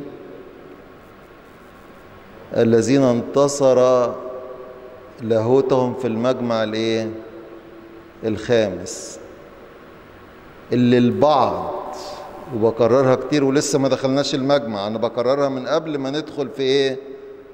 في تفاصيل المجمع. يعتقد إن المجمع الخامس ده جه معانا. ونصف آبائنا. هو في حاجات جزئية. حكمه على الإساءات اللي حصلت ضد البابا كيرلس. أظهر عظمة وبراءة البابا ديسكورس. إن الناس اللي هو حكموا على كتاباتهم دول وإساءاتهم هم دول اللي حاكمهم مين؟ البابا ديسكورس لكن المضمون اللاهوتي للمجمع بعد تماما عن إيمان كنيستنا بل حاول فرض تحديدات مجمع خلقيدونيا بتلبسها الصبغة الكيرلسية صبغة البابا كيرلس أو إضفاء البابا كيرلس عليها عشان نقبلها. وحصل نتائجه حاجات كتيرة ممكن إن أحيانا الرب وعشنا نتطرق ليها إن أراد الرب واستكملنا هذا ال... هذه الدراسة وهذه الكورس.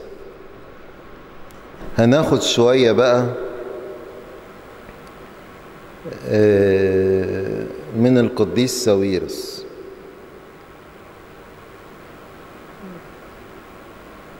ولا سيما إن ممكن أحيانا نجيب اقتباسات للبابا كيرلس مش معروفة أو ما اتنشرتش لكن هو بيذكرها وبيستند إليها.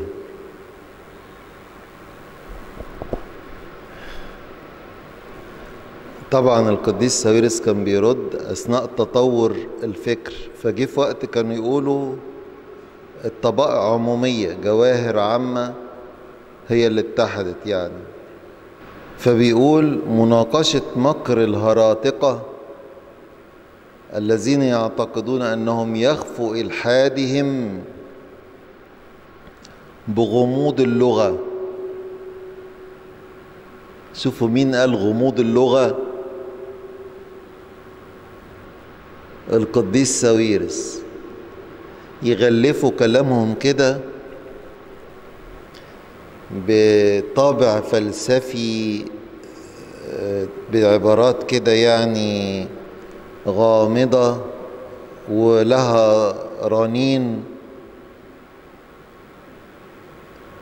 وقعها على الأذن يعني حاجة كبيرة قوي عشان يخفوا ده مين اللي بيعلق كده؟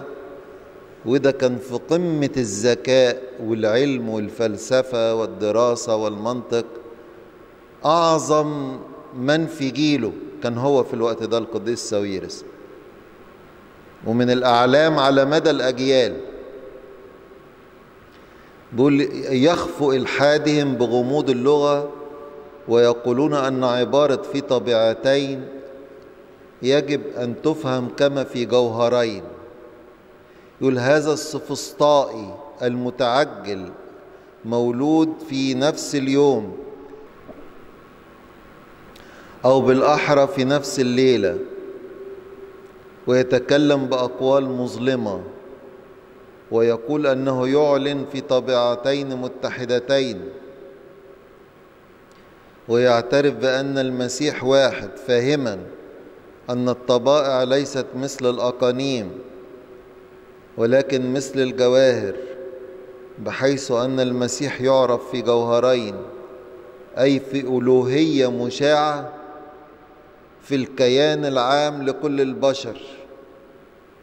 في موقع آخر يقول ولكن إذا كان أحد يفهم الجواهر بحسب المعنى العام والمفهوم النوعي فإن الجوهر دال على أقانيم متعددة مثل جوهر الألوهية الثلاث أقانيم للآب والابن والروح القدس وجوهر كل أقانيم البشرية بحيث يقال أن المسيح مكون من جواهر وهذا سوف يكون موضوع الجنون والإدانة بإلحاد عظيم.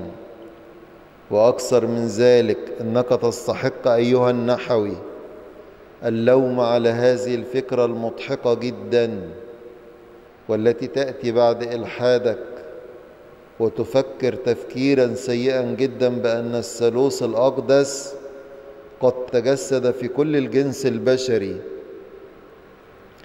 وفي كل الجوهر البشري بحسب المعنى النوعي لأن كلمة الله هو من أقنوم واحد. ومن جسد واحد مزود بنفس عاقلة مولود من مريم أم الله وصار اتحاد أقنومي الذي منه نفهم ونقول أنه يوجد عمانوئيل واحد. هناخد حتة من أبونا فيلوساوس إبراهيم نفح العبير. ردا على شرح البشير.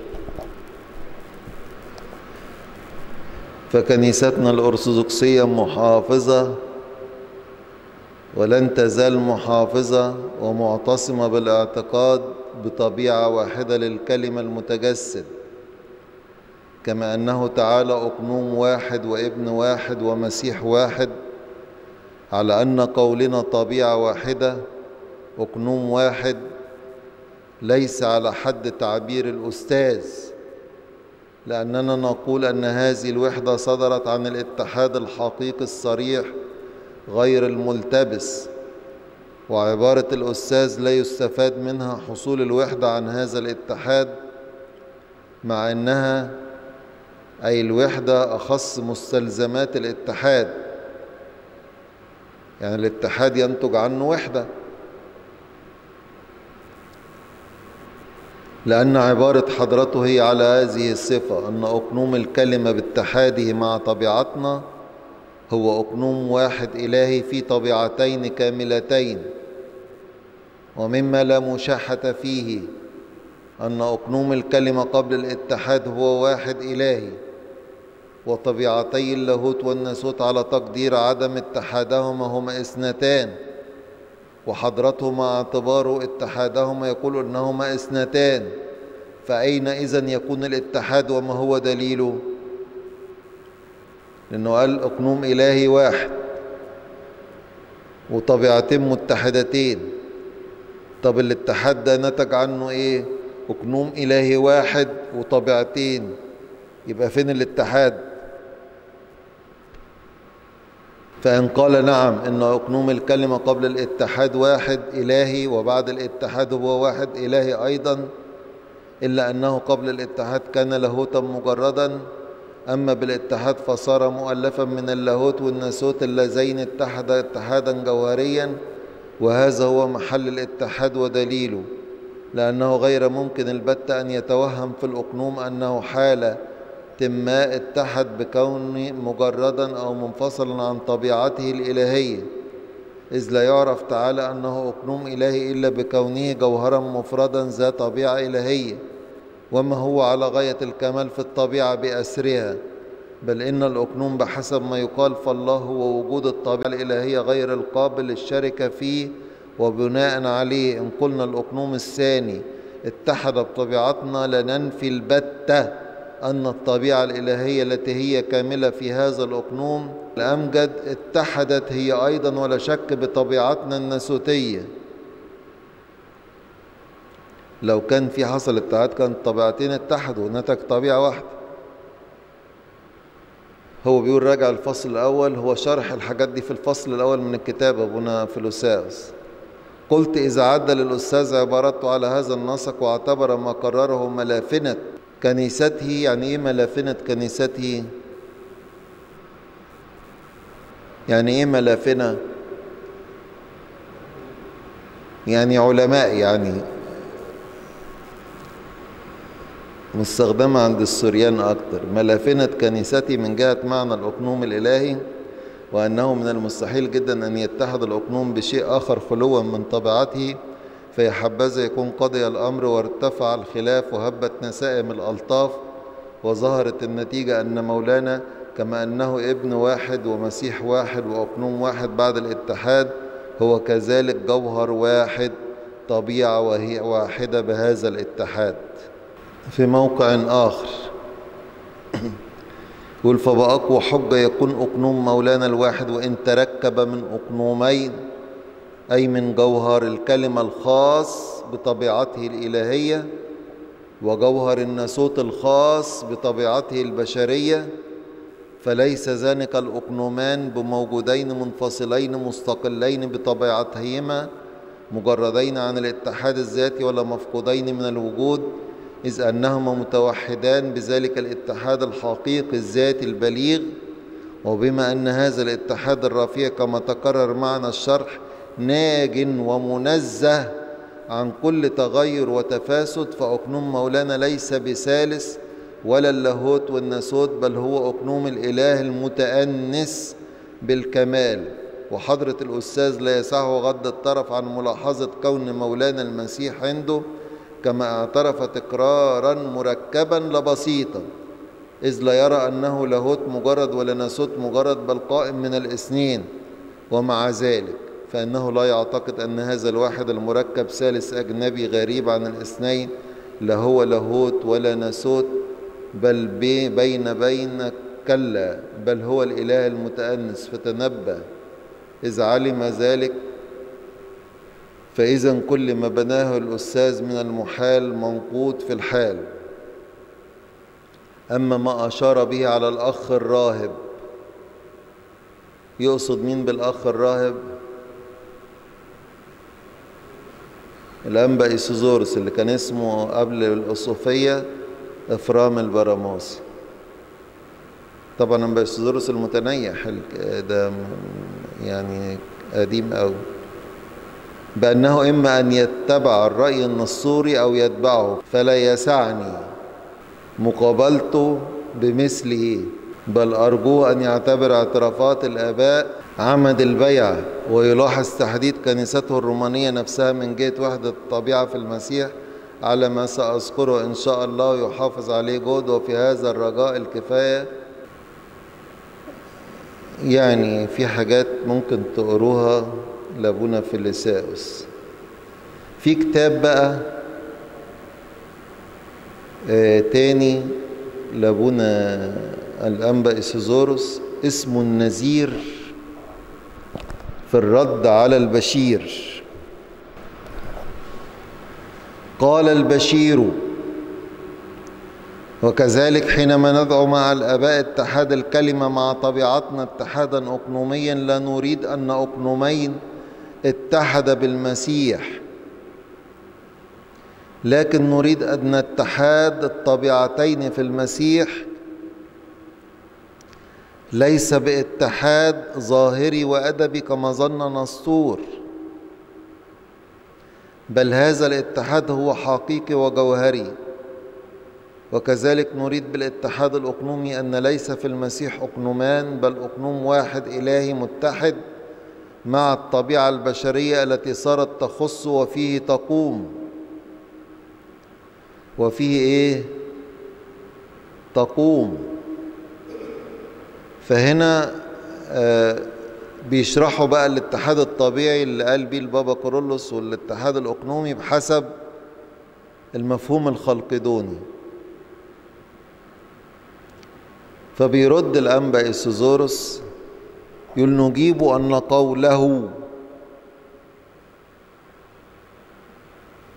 الاتحاد الأقنومي لا يراد به أقنومين اتحد بالمسيح هو مخالف على خط مستقيم لفصل القديس كورولوس الثالث وهو من فرق من بعد الاتحاد المسيح الواحد إلى أقنومين وطبقهما في بعضهما بعض بالمصاحبة فقط أم بالعظمة أم بالقدرة أم بالسلطان وليس بأحسن يوحدهما بوحدانية طبيعية فليكن محروما.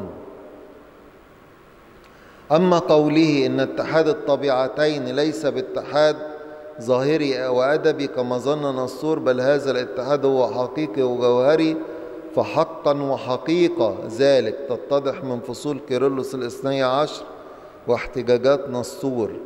لأنه بينما كان نسطور يعتبر أن الاتحاد ما بين الطبائع بالرأي والمشيئة فكان القديس كيرلس يدحض ذلك ويحقق له أن الاتحاد ذاتي وطبيعي أي الذات بالذات والطبع بالطبع. وما بقي من كلامه فقد رد ويرد في الجواب في جواب العدد التالي. كانوا شغالين مع بعض ده يكتب وده يرد يعني. نيجي بقى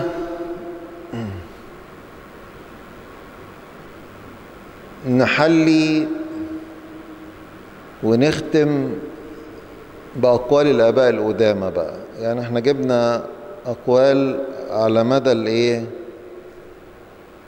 التاريخ. لكن نختم بقى الختم في النهاية بأقوال الآباء القدامى شوية. كتاب ضد النحوي كنت رجون جراماتيكا الكتاب ده كتب باللغة اليونانية اتحرق. بقيت منه النسخة السريانية كانت موجودة في الدير عندنا. اتخذت من ضمن المخطوطات اللي اتخذت وترجم إلى اللغة اللاتينية. مرضيوش يترجموه للغة من اللغات الحية. ترجم للغة الإيه؟ اللاتينية حتى لا يقرأه إلا الدارسين فقط. ترجمنا بعض منه. الحاجات اللي بقولها لكم دي دلوقتي مترجمة. بقية المرجع لم يترجم بعد. في لسه حاجات كتيرة. ومن فوق هذا المنبر. يعني أناشد وأطلب وأرجو من إخواتنا السوريان بصفة خاصة السوريان الأرثوذكس. يا ريت يقوموا بترجمة هذا المرجع العظيم من اللغة السريانية. لأنه كنز ومرجع أساسي في موضوع الكريستولوجي. يمكن تأخرت كثيرا في الحديث عن هذا الموضوع. كنت حريصا أن أكون ملما بصفة خاصة بهذا المرجع أهم من أي مرجع آخر. بيقول يجب أن نفهم أن الأقنوم يعني شخصا محددا حينما يوجد في جوهر واحد واضح سواء كان بسيطا أو مركبا. بسيطا زي ما بنتكلم على الثالوث القدوس الآب والابن والروح القدس. مركبا زي ما بنتكلم على البشر كل واحد فينا أقنوم مركب مش بسيط. في موضع آخر يقول ولكن في المجلد الثاني ضد تجديفات هذا يقصد تجديفات نصور وأتباعه يعني. يقول كيرلس إنك ترى كيف باكتشافات متعددة الأشكال من عبارات واقحة فإنه يجتهد في البرهنة على أن ولادة الابن الوحيد هذه بحسب الجسد لا يمكن أن تكون إن لم تكن قد تمت باختلاط وامتزاج الأقنومين فيما بينهم. بينما لم يسلم إلينا معلم الكنيسة هذا الطريق وفي الواقع إننا نقول إن الاتحاد الحقيقي تم. الكلمة متحدا بالجسد مع بقائه كما هو ولكن ذلك ليس في رأسه أي من هذه العقائد. فلقد عمل بوقاحة متطرفة قاسما المسيح إلى شخصين وأقنومين منفصلين تماما فيما بينهما بينما نسب إلى كل منهما أحاديث كما يحلو له وأكثر من ذلك يقول أنه يوجد مسيح واحد يسوع الرب كإنسان منتسب لله بالكرامة الوحيدة وليس باتحاد حقيقي أي باتحاد بحسب الطبيعة. كيف إذن يكون المسيح واحدا ابن ورب؟ إذ كان يناسب بالأكثر الاثنين كما قلت لكي يدعو ويكون حقا. بينما أقانيمهما ليس متحدين أبدا. خلي بالك القديس كورولوس بيقول إيه؟ أنا جايب الفقرة دي عشان يوريك. هو بيتكلم على نسطور بيتكلم عن أقنومين والقديس كورولوس بيرد بيقول بينما أقانيمهم على نسور ليس إيه؟ متحدين. يعني إذا بيتكلم عن اتحاد أقنومي أقنومين. بينما أقانيمهما ليس بمتحدين أبدا فيما بينهم بحسب الاتحاد ولكن فقط بحسب كرامة السلطة أو القوة ولكن بفحص طبائع الأشياء سوف نرى أن هذه الطبائع المتساوية في الكرامة لم تفقد هذا السبب الذي هو في خاصية الوجود. يعني أنا قصدت أجيب لكم بس من القطعة دهيت إن بيقول أقانيهما ليس إيه؟ متحدين. في مكان آخر يقول وكما قال القديس كورولوس في المجلد الثالث ضد تجديفات نستوريوس إذا كما تقول بالنسبة للأقانيم أنها منقسمة إلى اثنين ومفهومة على أنها موجودة بانفصال وبطريقة خاصة فكيف يصبح اتحادهم في شخص واحد؟ كل ده القديس كورولوس بيتكلم على اتحاد الايه؟ الأقانيم. وأيضا في الحديث الموجه إلى الإمبراطور التقي سودوسيوس قال لا نفصل ولا تص ولا تقم على حدة إنسان الاتحاد ولا تتخيل أن الله الكلمة كان له من أجلنا شخصان. بيقول رغم أن الكلمة اتحد في اتحاد حقيقي بالبشرية فإن الأقانيم بقيت دون اختلاط ومع ذلك فإنها لا تشير إلى شخصين لأنها اتحدت في وحدة حقيقية حيث لا توجد في خاصية الموجود. بيتكلم على اتحاد إيه؟ الاقنومين أنا جايبها ردا على البدعة اللي ظهرت بعده أو الابتكار إن قالوا الناسوت الطبيعة الناسوتية كانت بدون أقنوم. فالقديس كارولوس بيتكلم على الاتحاد الأقنومي في مواقع كثيرة. ويكتب إلى نستوريوس الرسالة الثالثة يقول شخص واحد ننسب كل الكلمات الإنجيلية إلى أقنوم الكلمة المتجسد الوحيد رب واحد يسوع المسيح كما هو مكتوب. ضد النحو أيضا في موقع آخر. للأسف ونتيجة للغباوة فإنه بسبب الاختلاف بحسب جوهر الألوهية والبشرية الذي منه يتكون عمانوئيل فإن هؤلاء الواقحين يتخيلون ثنائية الطبيعة بعد الاتحاد. لأن بيقولوا أقنوم واحد في طبيعتين. هنا بيتكلم القديس كورولوس اللي هم عايزين يأولوه أو ينسبوا عقيدة خلق دنيا إن هي معلم بيه القديس كورولوس فبينتقد على اللي بيتكلموا على ثنائية الطبيعة بعد الاتحاد. فإن عمانوئيل يظهر واحد وطبيعة واحدة لكلمة الله المتجسد كما يجب. الذي كما يجب متعارضان للقسمة بين طبيعتهما وهذا لم يعرف لم يعرف من مجمع خلق دنيا. ولكن مجمع خلق دنيا حسب حذفوا لا عن براءة حتى قسموا المسيح وعرفوا أنه كان في طبيعتين. هنا القديس ساويرس بيستشهد بالقديس كيرلس قال إيه؟ وبيقول اللي قاله دوت لم يعرف في مجمع خلقيدونيا ولكن مجمع خلقيدونيا حذفوا لا عن براءة. وبيقول لي ناخذ من من بين ما قاله القديس كيرلس وهو يكتب إلى سكسنسوس إننا نرى إن الطبيعتين اتحدتا باتحاد غير منقسم دون اختلاط أو تغيير وبعد الاتحاد لا نقسم الطبيعتين. ولكننا نقول أن الابن واحد كما قال الآباء طبيعة الكلمة المتجسد. والقديس سيرس بيخاطب بقى النحو اشرح لنا أيها المحتال المدافع عن مجمع خلق دنيا. أنت الذي تعلن بالصوت الوحيد من حنجرتك الخطاب إلى ساكسنسوس لكي تعد كأرثوذكسي وتخيف البسطاء.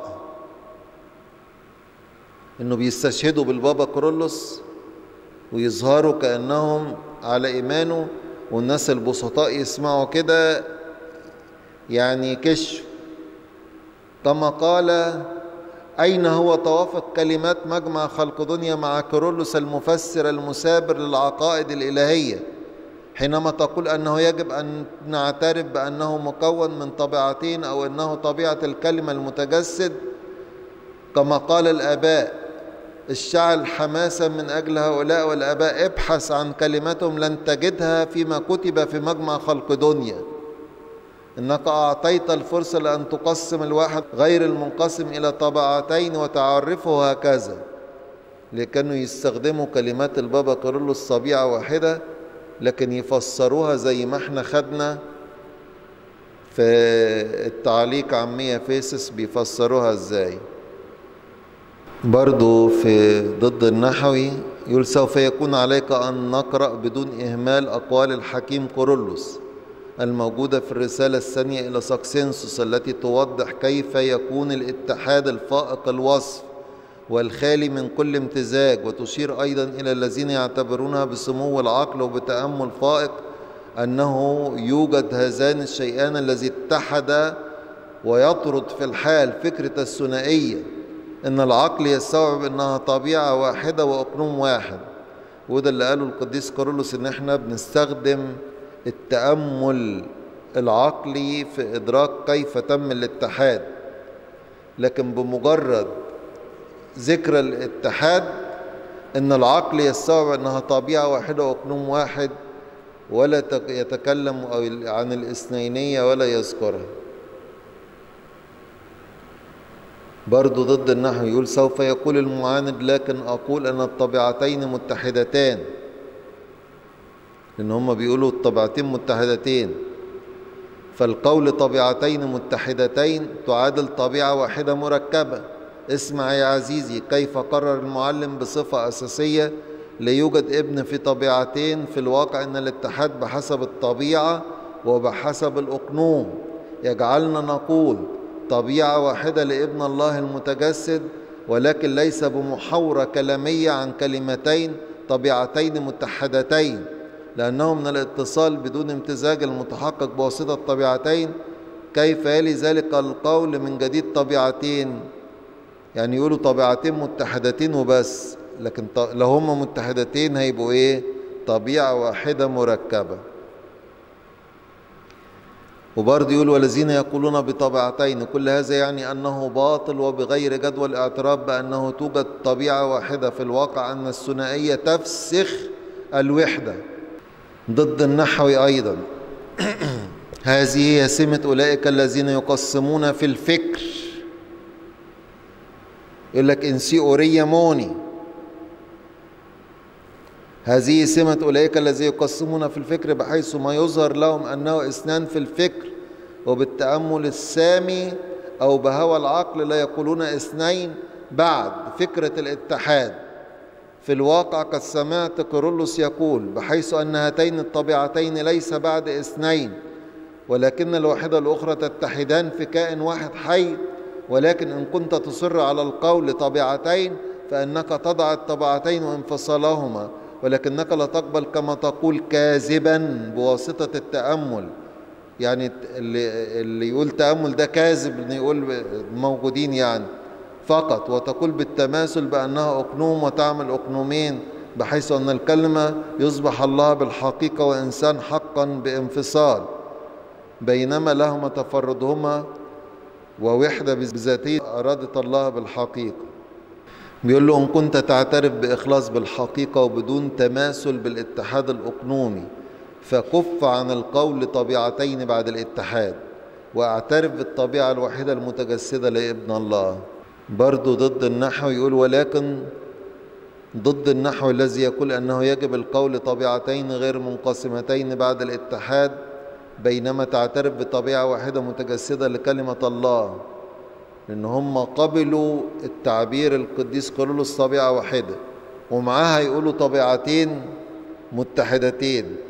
طبعا ما بيقولوا طبيعة واحدة بيفسروها بطريقتهم يعني. بيقول له بينما تعترف بطبيعة واحدة متجسدة لكلمة الله أنه يناضل بجوار ساكسينسوس كما قلت من قبل مرارا للمرة الثانية كاتبا هكذا القديس كورولوس من جديد إن العبارة تهاجم الذين يقولون أنه توجد طبيعة واحدة متجسدة للكلمة الإلهي والذين يريدون إثبات أنه هذا حماقة ويحاولون في كل مكان إثبات أنه توجد طبيعتان متواجدتان.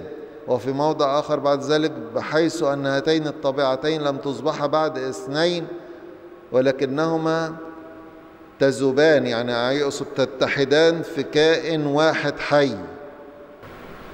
وكتب إلى أكاكيوس أسقف ميليتين حقا أن القسمة إلى اثنين رفعت رفعت. إننا نؤمن بوجود طبيعة واحدة للإبن كما من واحد ولكن متأنسة ومتجسدة. يقول إن الثنائية في الواقع تمزيق للواحد وهكذا أيضا عندما نعتبر في الفكر هذه الأشياء التي منها تخفى الواحد في اتحاد طبيعي وإننا نرى أنهما اثنان. اللذين صار بالتسابق إننا نقول إننا نفصلهما بالتأمل فقط لكي نعتبرهما بالأحرى كإثنين. ولكن حتى بعد فكرة الاتحاد إذا ظللنا نقول إثنين بأننا نفصلهما هكذا بحسب الأقنوم بحيث لا يكون أقنوم واحد لكن أقنومين وطبيعتين. يعني كلمة بيقول إحنا بنفصلهما بالذهن فقط لكن يقول هما طبيعتين الذهن ده لما بنيجي نتصور كيف تم الاتحاد فقط. القديس كارولوس نفسه قال والذهن لا يفصل العقل لا يفصلهما بعد كده بمجرد ذكر الاتحاد. يقول من أي شيء صار عمانوئيل فأنه سيرى بعيني الفكر بأنه قد تمت وحدة من طبيعتين أي من الألوهية ومن البشرية ولكن بعد بعد معرفة الاتحاد سوف يجد أن الذي نتج منهما هو أقنوم واحد وطبيعة واحدة متجسدة للكلمة. وليس أقنومين أو طبيعتين أو شخصين. ولو قابلنا في الواقع الثنائية لو قلنا مثلا طبيعتين فإنه سوف يتبع ذلك بالطبيعة أن الكل سوف يكون اثنين. يعني لو قلت طبيعتين لازم هتقول إيه؟ أقنومين الحتة الجاية دي برضه يقول ولا تقل إنني أعترف معكم بالاتحاد الأقنومي الحقيقي.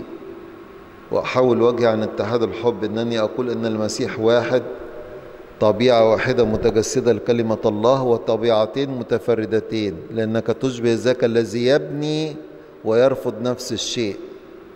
إنك تقول طبيعة واحدة لكي تخدع وتبدو كوسيط ولكنك تدخل طبيعتين وتحاول بقوة أن تخلط النقي مع غير النقي. لأن لما بيقول طبيعة واحدة يروح مفسرها على طول إنها إيه؟ أقنوم واحد وطبيعتين متحدتين فألفاظ تخدع. يقول لك ما بيقول طبيعة واحدة إيه؟ طب ما بيقول متحدتين هو فصلهم؟ طب يعني إيه متحدتين؟ متحدين يعني بقوا واحد. لهذا نقول بحق الذين يقولون أن يسوع الرب هو طبيعتان متفردتان ومتحدتان أن هذا ليس لكم ولنا أننا نبني أو أننا نعترف بالاتحاد الأقنومي لأنكم بينما تقولون طبيعتين فإنكم تدعون حل هذا حتى أنه بالصوت تدعون الاعتراف لأن أثر الاتحاد هو كما هو معلم بوضوح أننا نقول طبيعة متجسدة للكلمة وليس إطلاقا طبيعتين. في موضع آخر ثم أن المسيح أظهر بيننا هو إله كامل وإنسان كامل كأقنوم ضمن الأقانيم الموجودة في جوهر الألوهية ولكن ليس مثل كل الألوهية وكل الجوهر الذي يحوي الأقانيم الثلاث. وبما إنه أقنوم متجسد ولكن ليس كل جوهر البشرية الذي يحوي كل الأقانيم. إن المسيح لم يتحد بكل البشرية وكل الجوهر والجنس البشري الذي نشترك فيه. واخدين بالكم من ده؟ يعني في الألوهية بنقول أقنوم كامل من ضمن الأقانيم الموجودة في جوهر الألوهية أقنوم الإبن. وبما أنه أقنوم متجسد نقصد ليس كل جوهر البشرية الذي يحوي كل الأقانيم. ولكن جوهر إيه خاص يبقى أقنوم الناسوت في موضع آخر لقد أظهر إذن بواسطة هذه الأشياء التي فحصت وأثبتت كما بخاتم شهادات المعلمين حاملين الله بأن في الألوهية المتجسدة والمتأنسة أنه ليست من جواهر وحدة أقنومية وتكوين واجتماع طبيعي ولكن أقنوم كلمة الله في جسد وحيد مزود بالطبع بنفس عاقلة لأن الجواهر بحسب المعنى المشترك مفهومة من أقانيم عديدة. وكما علم من هنا وهناك أن عمانوئيل من طبيعتين أي أنه معروف من جواهر متحدة وأنك تقول أن الجواهر ليست مثل الأقانيم مثل أقانيم خاصة لكنها مفهومة بواسطتك بحسب المعنى المشترك الذي هو متحد ولا شيء آخر إلا تأكيد أن هذا الجوهر مفهوم من ثلاثة أقانيم وتجسد في كل جوهر البشرية ويحوي كل واحد وكل الناس. بيتكلم على اللي هو بيقول إيه؟ اتحد بجوهر كل الناس. هختم لكم بقى بقول واضح وصريح جدا. يقول إن فكرة الاتحاد تبعد إمكانية القسمه وترغم أن الاثنين لا يصبحان بعد اثنين ولكنها بطريقة فائقة في واحد بحسب التكوين. والطبائع وأيضا الأقانيم خلي بالكم. خلي بالكم قوي من الفقرة ديت. والطبائع وأيضا الأقانيم يعني الطبيعتين والإيه؟ والأقنومين. هنا طبعا حتى ما فيش مثنى في بعض اللغات فالمثنى يتقال عليه جمع يعني. والطبائع وأيضا مش أو وأيضا الأقانيم التي تكون منها المسيح. ترك اتحاد دون عيب أو نقص. لا يمكن أن نعرف الشخص لا في الواحد ولا في الآخر. منهما لأنهما لا يوجدون منفصلين في وجود خاص. والنتيجة شخص واحد وطبيعة واحدة لكلمة الله المتجسد. شخص واحد يقصد أقنوم واحد هنا وطبيعة واحدة هذا ما أظهرناه بوضوح. كيف ونحن نتكلم عن طبيعتين؟ لا نفهم أن هاتين الطبيعتين تكونان جوهرين بحسب المعنى المشترك لللفظ اللتين مفهومتان من أقانيم متعددة. لكي نجد بحسب حماقة وقحتك أن الثالوث الأقدس قد تجسد في كل البشرية ولكن في أقنوم واحد لكلمة الله الذين ليسوا منفصلين إلا بواسطة التأمل وأقنوم للجسد مزود بعقل مأخوذ من العذراء. خلي بالك أقنوم واحد لكلمة الله وأقنوم للجسد مزود بعقل مأخوذ من العذراء أم الله ومفهوم بالتكوين دون تغيير واللتين بقيتا كما كانتا ولكن ليس بحسب جوهرهما الخاص كما سبق أن قلنا مرارا وفي ثنائية الطبيعتين ولكن بالاتحاد في واحد. طبيعة واحدة. وأقنوم واحد متجسد للكلمة. ونكتفي بهذا القدر. نشوف بعض الأسئلة.